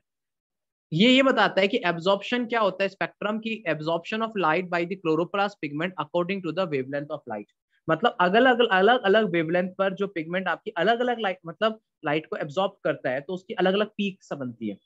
Okay it is concluded that two major peak of each pigment are observe in blue and red visible light हर किसी में आपको ब्लू और रेड मतलब जितने भी पिगमेंट होते हैं ऑलमोस्ट किस पे काम कर रहे हैं? ब्लू और रेड लाइट के ऊपर। ठीक है? क्लोरोफिल ए एब्जॉर्ब अब देखिए यहाँ पर। क्लोरोफिल ए ये क्लोरोफिल ए है बेटा? क्लोरोफिल यहाँ पे कहा गया? सॉरी ये क्लोरोफिल ए है। और यहाँ पर अगर आप देखोगे तो यहाँ पर यहाँ पर आपको दो पीक है, एक तो ब्लू की है और एक रेड की है। तो एक चीज़ बताइए क्लोरोफिल ए और क्लोरोफिल बी ये क्लोरोफिल ए है और ये क्लोरोफिल बी है। दोनों ब्लू लाइट पर हालाँकि इसको थोड़ा सा आगे दिखा दिया, लेकिन एक्चुअली क्या होता है, बिल्कुल पास पास ही होते हैं। लेकिन अलग क्या, अगर वरना बिल्कुल एक दूसरे के ऊपर दिखाएँगे सुप्रीमोस्ट हो जाएँगे। ओवरलैप हो जाएँगे तो दिखा नहीं पाएँगे। हालाँकि दोनों ब्लू और रेड पे ही आते हैं। तो एक चीज़ बताइए क्लोरोफिल ए क्लोरोफिल बी कौन से कौन सा पिगमेंट हाईएस्ट ब्लू कलर को एब्जॉर्ब करता है? क्लोरोफिल ए और बी ठीक है? कौन सा ऐसा पिगमेंट है जो हाईएस्ट ब्लू कलर को एब्जॉर्ब कर रहा है? एक बार ढंग से देखो आप। ये भी ये ये क्लोरोफिल ए है और ये क्लोरोफिल बी है। हालाँकि दोनों बेटा ब्लू ही है। आपको थोड़ा सा एक बी आपको थोड़ा सा आगे दिखाई दे रहा होगा। एक्चुअली साथ में ही होते हैं। लेकिन अगर एक साथ दिखाएँगे तो दोनों सिर्फ़ ओवरलैप कर जाएँगे। तो पता नहीं चलेगा क्लोरोफिल ए कौन सा क्लोरोफिल बी कौन सा। इसलिए क्लोरोफिल बी को थोड़ा सा आगे अलग दिखाया। कौन सा क्लोरोफिल आपका ज़्यादा मतलब कलर को एब्जॉर्ब कर रहा है? ब्लू कलर में कौन ज़्यादा हाईएस्ट ब्लू कलर को एब्जॉर्ब कर रहा है? बी कर रहा है ना? देखिए बी की पीक सबसे हाई है। बी की पीक सबसे हाई है। ओके बी की सबसे हाई है। और अब रेड कलर में आइए। रेड कलर में कौन ज़्यादा एब्जॉर्ब कर रहा है? ए या बी ए कर रहा है ना बेटा। बी की, देखिए ग्रीन कलर का। बी का छोटा है और ए का ओके तो यहाँ लिखा हुआ है। Chlorophyll A absorb the more red light than the chlorophyll B और chlorophyll B absorb the more blue light than the chlorophyll A clear हो गया आपको? ओके दूसरा। कैरोटेनॉइड दो टाइप के होते हैं, इसलिए आपको दो पिक मिलती है। अल्फ़ा और बीटा दो टाइप के होते हैं, इसलिए आपको यहाँ देखिए दो पिक मिली है। देखिए ना आपको दो पिक ठीक है बेटा? ओके अब आता है action spectrum action spectrum action spectrum का एक्शन का मतलब क्या होता है? जो काम हुआ है। ओके स्पेक्ट्रम मतलब वेवलेंथ पर वेवलेंथ के अकॉर्डिंग मेज़रमेंट मतलब जो काम हुआ है, उसका वेवलेंथ के अकॉर्डिंग अच्छा एक फोटोसिंथेसिस प्रोसेस हो रहा है। How would you measure it कि एक्शन में है कि नहीं है? कैसे मेजर करोगे आप? एक फोटोसिंथेसिस हो रहा है how would you measure it amount of star well actually glucose form होता है। ग्लूकोज फॉर्म से कर सकते हो लेकिन इमीडिएट चेक करने के लिए ऑक्सीजन के अमाउंट कितना रिलीज़ हो रहा है उसके अकॉर्डिंग चेक किया जाता है। कितना ऑक्सीजन रिलीज़ हो रहा है। अगर जितना ऑक्सीजन जितना हाईएस्ट अगर ऑक्सीजन रिलीज़ हो रहा है उतना फोटोसिंथेटिक रेट ज़्यादा है। जितना ऑक्सीजन कम रिलीज़ हो रहा है उतना फोटोसिंथेटिक रेट ये बात क्लियर हो गया आपको? तो यहाँ पे देखिए एक्शन स्पेक्ट्रम से ये पता चल जाता है कि यहाँ पर हम चेक कर रहे हैं कि action of the photosynthesis according to the wavelength कि किस वेवलेंथ पे फोटोसिंथेटिक रेट हाई है? क्लियर हो गया? तो यहाँ पर एक्स एक्सिस पे क्या है? वेवलेंथ ऑफ़ यहाँ देखो Sneha wavelength of in nanometre और वाई एक्सिस पे क्या है? रेट ऑफ़ फोटोसिंथेटिक या measurement by the oxygen release तो इस ग्राफ में आपको देखिए, एक तो आपको हाईएस्ट यहाँ मिल रहा है ऑक्सीजन रिलीज़ और दूसरा यहाँ मिल रहा है और यहाँ पे सबसे सबसे लोवेस्ट है। और ये कौन सा रीजन था? ये वाला कौन सा रीजन था? ये ब्लू था और ये तो इसका मतलब क्या बता हुआ कि ब्लू और रेड पर सबसे highest absorption sorry highest photosynthetic blue और रेड रीजन में फोटोसिंथेटिक रेट क्या होती है? क्लियर हो गया? ठीक है तो ये क्या कहलाता है आपका? एक्सपन एक्शन स्पेक्ट्रम कहलाता है। ओके देखिए figure two action spectrum show that maximum rate of photosynthesis occur in the two range blue और red spectrum photosynthetic rate maximum occur in the ध्यान रखना रेड लाइट फिर उसके बाद ब्लू लाइट और ग्रीन लाइट में सबसे कम होता है। देखिए, ये ये दिख रही है ना आपको ये वाली? ये सबसे ग्रीन लाइट है। अब सोचिए आप खुद सोचिए लीफ का कलर कैसा होता है? ग्रीन होता है। और अगर आप उसको ग्रीन लाइट दोगे तो सबसे कम होगा फोटोसिंथेटिक रेट व्हाइट लाइट तो सारे कलर आ गए ना उसमें तो? व्हाइट में सारे कलर आ गए ना बेटा? व्हाइट जो आपके सनलाइट के कलर आता है सनलाइट व्हाइट होती है, उसमें सारे कलर आते हैं। इसमें ब्लू भी आ जाएगा रेड भी आ जाएगा। आप मान के चलो, आपको, आप दो तरीके की लाइट दे रहे हो, चलो। एक को व्हाइट दो और दूसरे को ब्लू दो। तो किसमें फोटोसिंथेटिक रेट हाई होगी? हाँ? ओके चलो, अगर आप एक को एक को व्हाइट दो और एक को रेड दो, किसकी फोटोसिंथेटिक रेट हाई होगी? एक को व्हाइट दिया और एक को रेड दिया। किसकी हाँ? एक को आप व्हाइट दे रहे हो और एक को रेड दे रहे हो। किसकी फोटोसिंथेटिक रेट हाई होगी? रेड की हाई होगी। क्यों? क्योंकि आप व्हाइट में सारा कॉम्बिनेशन दे रहे हो उसको। सारा कॉम्बिनेशन दे रहे हो और रेड में वही दे रहे हो कि जो काम का है। मान के चलो सिंपल एग्जांपल देता हूँ मैं आपको। एक तो मैं आप आप नहीं नहीं, बात तो सुनो, बात तो उसमें सारा समझाता हूँ आपको। मान के चलो, आपका एक ये तो आपको एक तो पूरा सिलेबस पढ़ने को दिया जाए। पूरा सिलेबस पढ़ने को दिया जाए और आपका क्या कल आपका एग्ज़ाम है। बोर्ड एग्ज़ाम है कल आपका। और मैं आपको कल वही पे क्वेश्चन दू जो क्वेश्चन आने वाले हैं। वो तीस क्वेश्चन आने वाले हैं, वो रट के चले जाओ। और एक तो पूरा सिलेबस पढ़ के जाओ और एग्ज़ाम पास करो। तो किसमें आपकी एफिशिएंसी हाई होगी? आपको क्वेश्चन अगर मिल गया तो एफिशिएंसी हाई नहीं होगी आपकी? तो हमने अगर उसको बनी बनाई रेड लाइट दे दी है तो क्या एफिशिएंसी हाई नहीं होगी? होगी कि नहीं होगी? आप कह रहे हो कि एनवायरमेंट में रेड लाइट नहीं होती। बिल्कुल नहीं होती है। लेकिन रेड लाइट में कन्वर्ट तो कर सकते हैं। कैसे करोगे? टॉर्च जैसे मान के चलो टॉर्च है। उस टॉर्च के ऊपर एक रेड पॉलिथीन लगा दो। तो क्या रेड लाइट निकल के नहीं आएगी? ब्लू लाइट नहीं आएगी निकल कर ब्लू पॉलिथीन लगा दोगे। समझ में आ गया? लेकिन ग्रीन लाइट पे सबसे कम होती है फोटोसिंथेटिक रेट ये समझ में नहीं आया। कैसे कहा, कैसे कम होती है? हाँ क्योंकि क्या होता है रेड लाइट क्योंकि ग्रीन लाइट मतलब ग्रीन लाइट अगर उसको आप दे रहे हो मतलब ग्रीन लाइट उसको दे रहे हो, समझ में आ गया? तो ग्रीन लाइट को एब्जॉर्ब अच्छा अगर आप ग्रीन लाइट को absorb very good green light को एब्जॉर्ब नहीं करता क्योंकि ग्रीन कलर का क्या करता है? वो कंप्लीटली रिफ्लेक्शन करता है। इसलिए आपको लीफ कैसी दिखाई देती है? ग्रीन दिखाई देती है। समझ में आ गया? क्योंकि जिसने उसको एब्जॉर्ब ही नहीं किया है, मान के चलो अगर मैं आपको पढ़ाता हूँ, अगर आप पढ़ाई एब्जॉर्ब ही नहीं करोगे तो एफिशिएंसी कैसे शो करोगे? समझ में आ गया? अगर आपने कंटेंट को एब्जॉर्ब ही नहीं किया तो एफिशिएंसी कैसे शो करोगे? अब लीफ का कलर ग्रीन होता है क्योंकि वो हंड्रेड परसेंट ग्रीन लाइट को रिफ्लेक्ट करता है तो एब्जॉर्ब ज़ीरो परसेंट करेगा। और जिसमें जब एब्जॉर्ब ही नहीं किया तो फोटोसिंथेटिक रेट हाई कैसे हो जाएगी? समझ में आ गया? इसलिए हाईएस्ट किस पे देता है? और नेक्स्ट नेक्स्ट और फिर? और ये क्वेश्चन कई बार आ चुका है कि फोटोसिंथेटिक रेट किन, किस वेवलेंथ पे हाई होती है? रेड और ब्लू पर। अगर आप कई बार क्या होते हैं, जो मैनमेड एग्रीकल्चर होते हैं, वो तो ब्लू लाइट ही देते हैं रेड लाइट ही देते हैं सिर्फ़ उसको। फोटोसिंथ पूरी पूरी पूरी लाइट देते ही नहीं है। रेड लाइट दोनों से कम टाइम ज़्यादा काम करेगा। समझ में आ गया? इसी समझ में आ गया आपको? यस सर अब देखिए हमने क्या किया? एक्शन स्पेक्ट्रम और एब्जॉर्प्शन स्पेक्ट्रम दोनों को एक दूसरे पर मैच कर दिया। मैच करने पे क्या पता चला? मैच करने पे ये पता चला आपके देखिए दो ग्राफ है। एक्स पे तो क्या है? वेवलेंथ है दूसरे पे क्या है? लाइट एब्जॉर्प्शन है। यहाँ पर आपको ये जो दिख रहा है ब्लैक कलर का ये क्या दिख रहा है? Rate of rate of photosynthesis जो भी एक्शन स्पेक्ट्रम में दिखाया था। और दूसरा वाला क्या दिखा रहा है? तो इस ग्राफ से ये पता चल रहा है कि जिस पर आपकी पीक हाई थी जिस पे हाईएस्ट एब्जॉर्प्शन किया गया था उसी पर ही आपकी रेट ऑफ़ फोटोसिंथेसिस हाई है। क्लियर हो गया ग्राफ ये? क्लियर हो गया?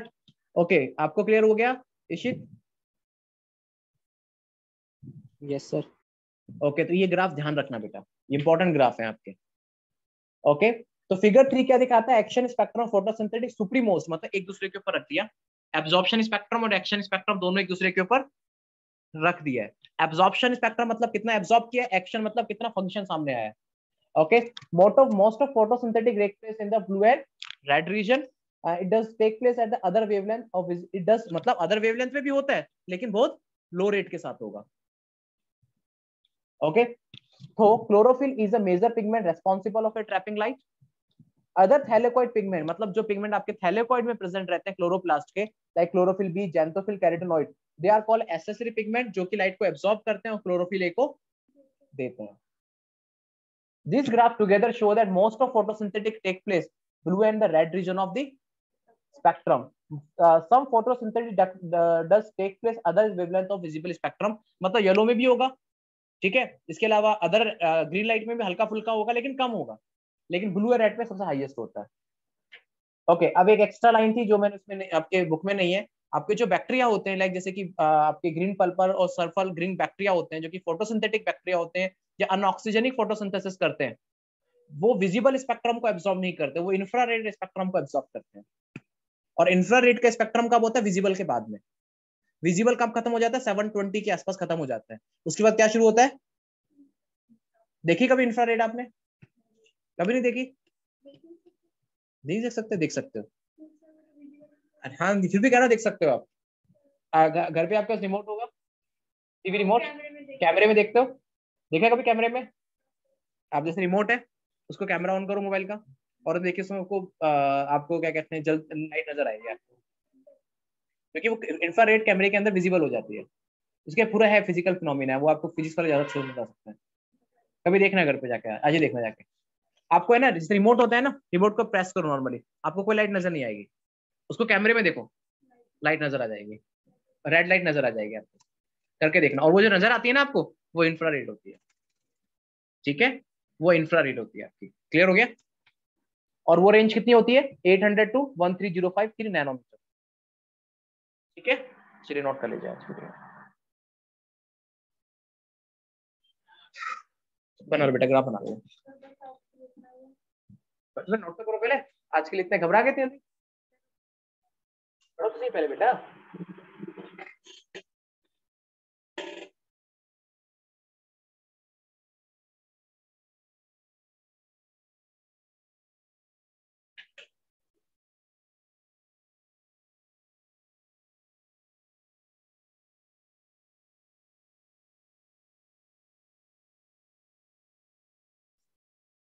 बेटा, नीचे लिख लेना वेवलेंथ नीचे लिख लेना wavelength okay wavelength in nanometre X axis पे जस्ट इसी बेटा एक्स एक्सिस पर वेवलेंथ लिख लेना wavelength X axis wavelength okay जो एक्स एक्सिस लिखे ना वेवलेंथ लिख लेना ओके हालाँकि इलेवन ने पढ़ाया लेकिन उस वक्त आपका ध्यान नहीं था ना बेटा? क्या जब भी जागो जब भी सवेरा है।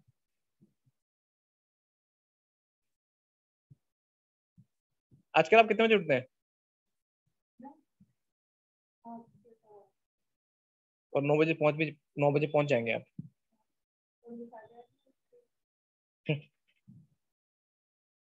अगर किसी ट्रैफ़िक लग गया जब? क्योंकि बारिश का टाइम है ना ट्रैफ़िक लग सकता है। और आप जिस ड्यूरेशन में आते हो रेलवे ट्रैक उस वक्त बिज़ी रहता है। ध्यान से बनाना बेटा, ध्यान से बनाना। एक एक कर्व इसको जरा ध्यान से बनाना। या तो एक काम करो, आप घर में बना लेना, ठीक है? नहीं नहीं, अगर जिसका बन गया उसका ठीक है बना के तो काटा क्यों फिर? घर में बना लेना इसी में आपने बना लिया बेटा? हाँ सर। चलो ठीक काम करना आप घर में बना लेना ओके?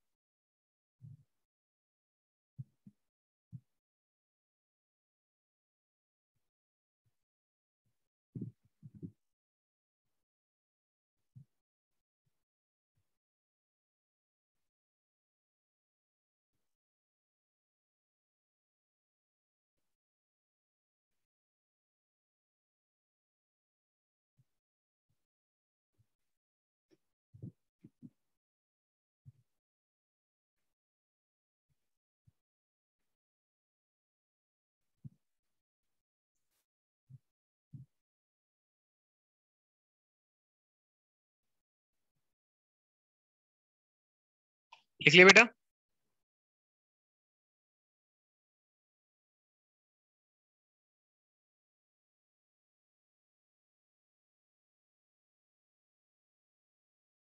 लिख लिया इसने।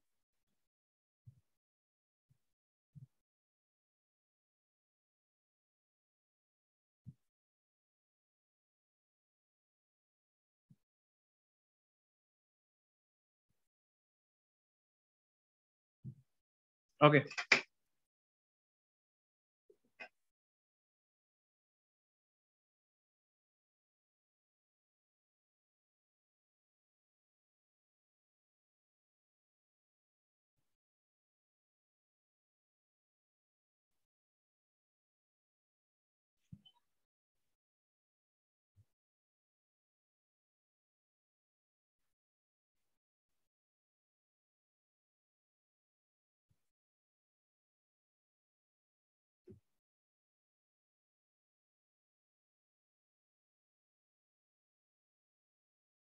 लिख लिया?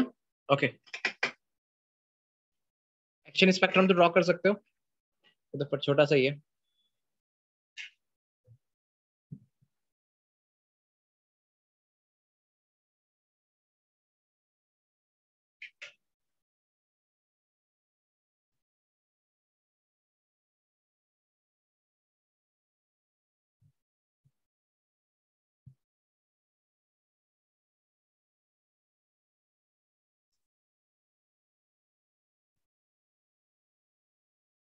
लिख लो, बताया तो।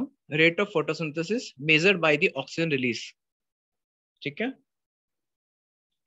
जैसे आपकी एफिशिएंसी मेजर कैसे करते हैं? मार्क्स से करते हैं? तो वैसे यहाँ पर एक मेज़रमेंट डाल दिया कैसे मेजर करोगे आप?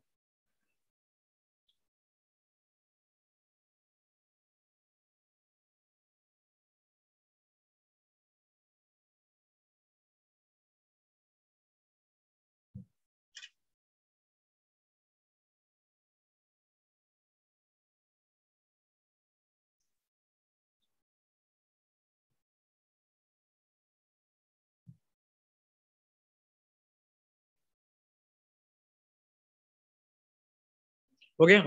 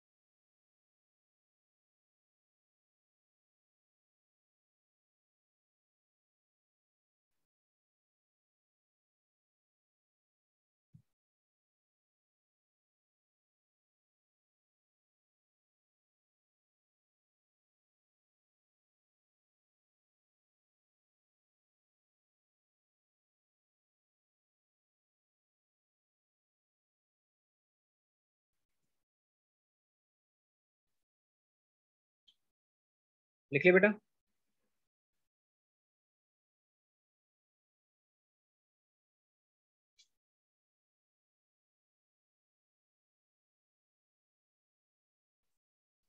लिख लिया इसने।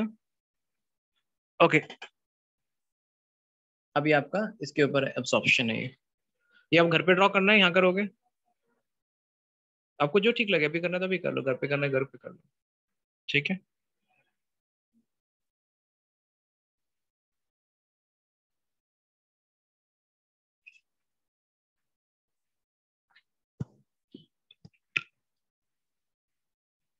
जो बच्चे बायोटेक्नोलॉजी चूज़ करते हैं, उनको एक ग्राफ बनाने पड़ते हैं। खुद बनाने पड़ते हैं ग्राफ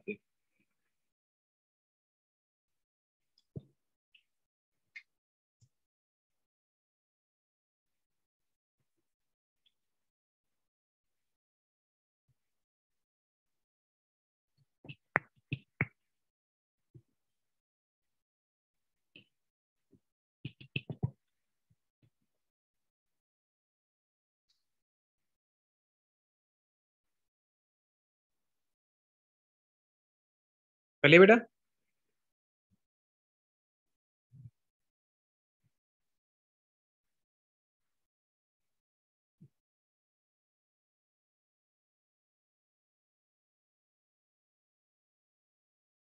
कर लिया आपने? हाँ? इशित आपने कर लिया बेटा?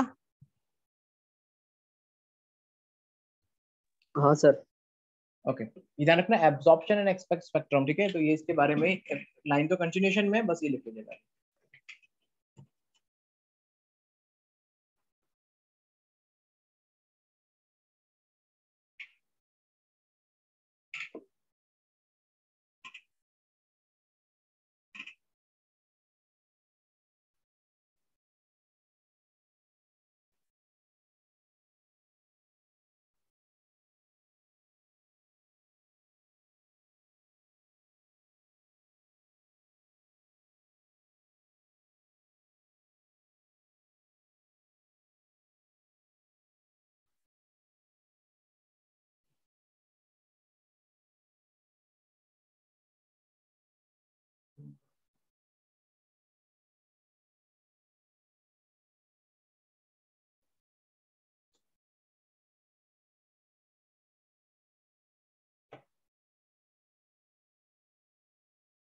कल आपकी मैं लाइट रिएक्शन शुरू कर दूँगा। है ना? साइक्लिक साइक्लिक फोटोफॉस्फोरिलेशन कल मैं शुरू कर दूँगा। आज इतना ही पढ़ेंगे। कल उसके बाद में शुरू कर दूँगा cyclic photo cyclic non cyclic शुरू कर दूँगा। पे कीमोस्मोटिक हाइपोथेसिस आएगा। आपको समझ में आ गया था कीमोस्मोटिक हाइपोथेसिस समझ में आ गया था रेस्पिरेशन का? बस वो यहाँ पर यहाँ पे। वही कॉन्सेप्ट यहाँ पर तरीका अलग है। देख लिया आपने? देता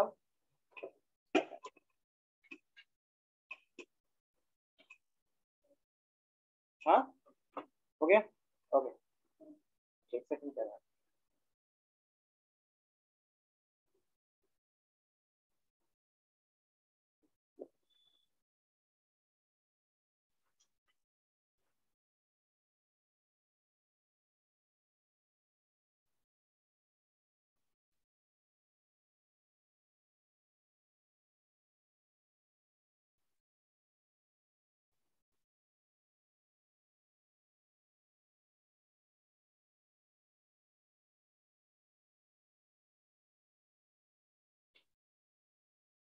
देखिए, ये तो हम बार बार आ चुके हैं ये पैराग्राफ है दीजिए बार बार आ चुके हैं।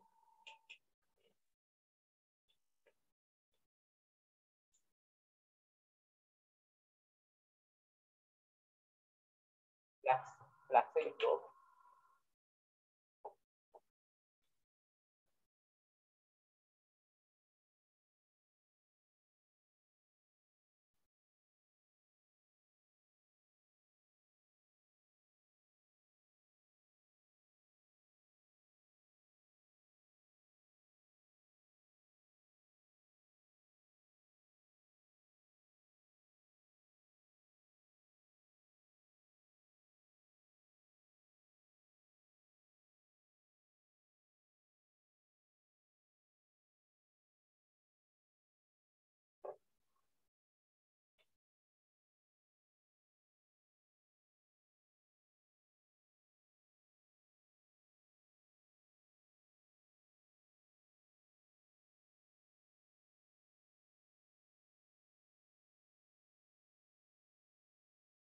ओके बेटा ओके लास्ट टाइम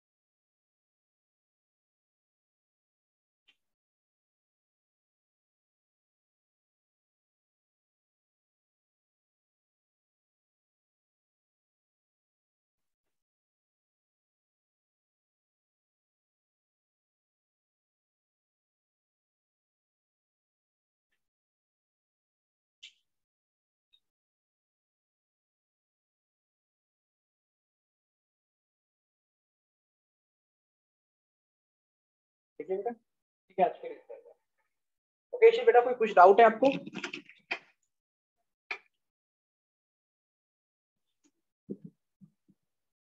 क्या सर? अभी कोई डाउट है आपको? नो सर ठीक है तो बेटा आज के लिए ऑफ़ है। ओके इतना स्टडी करना ठीक है बेटा? ठीक है सर आप बोलिए क्या डाउट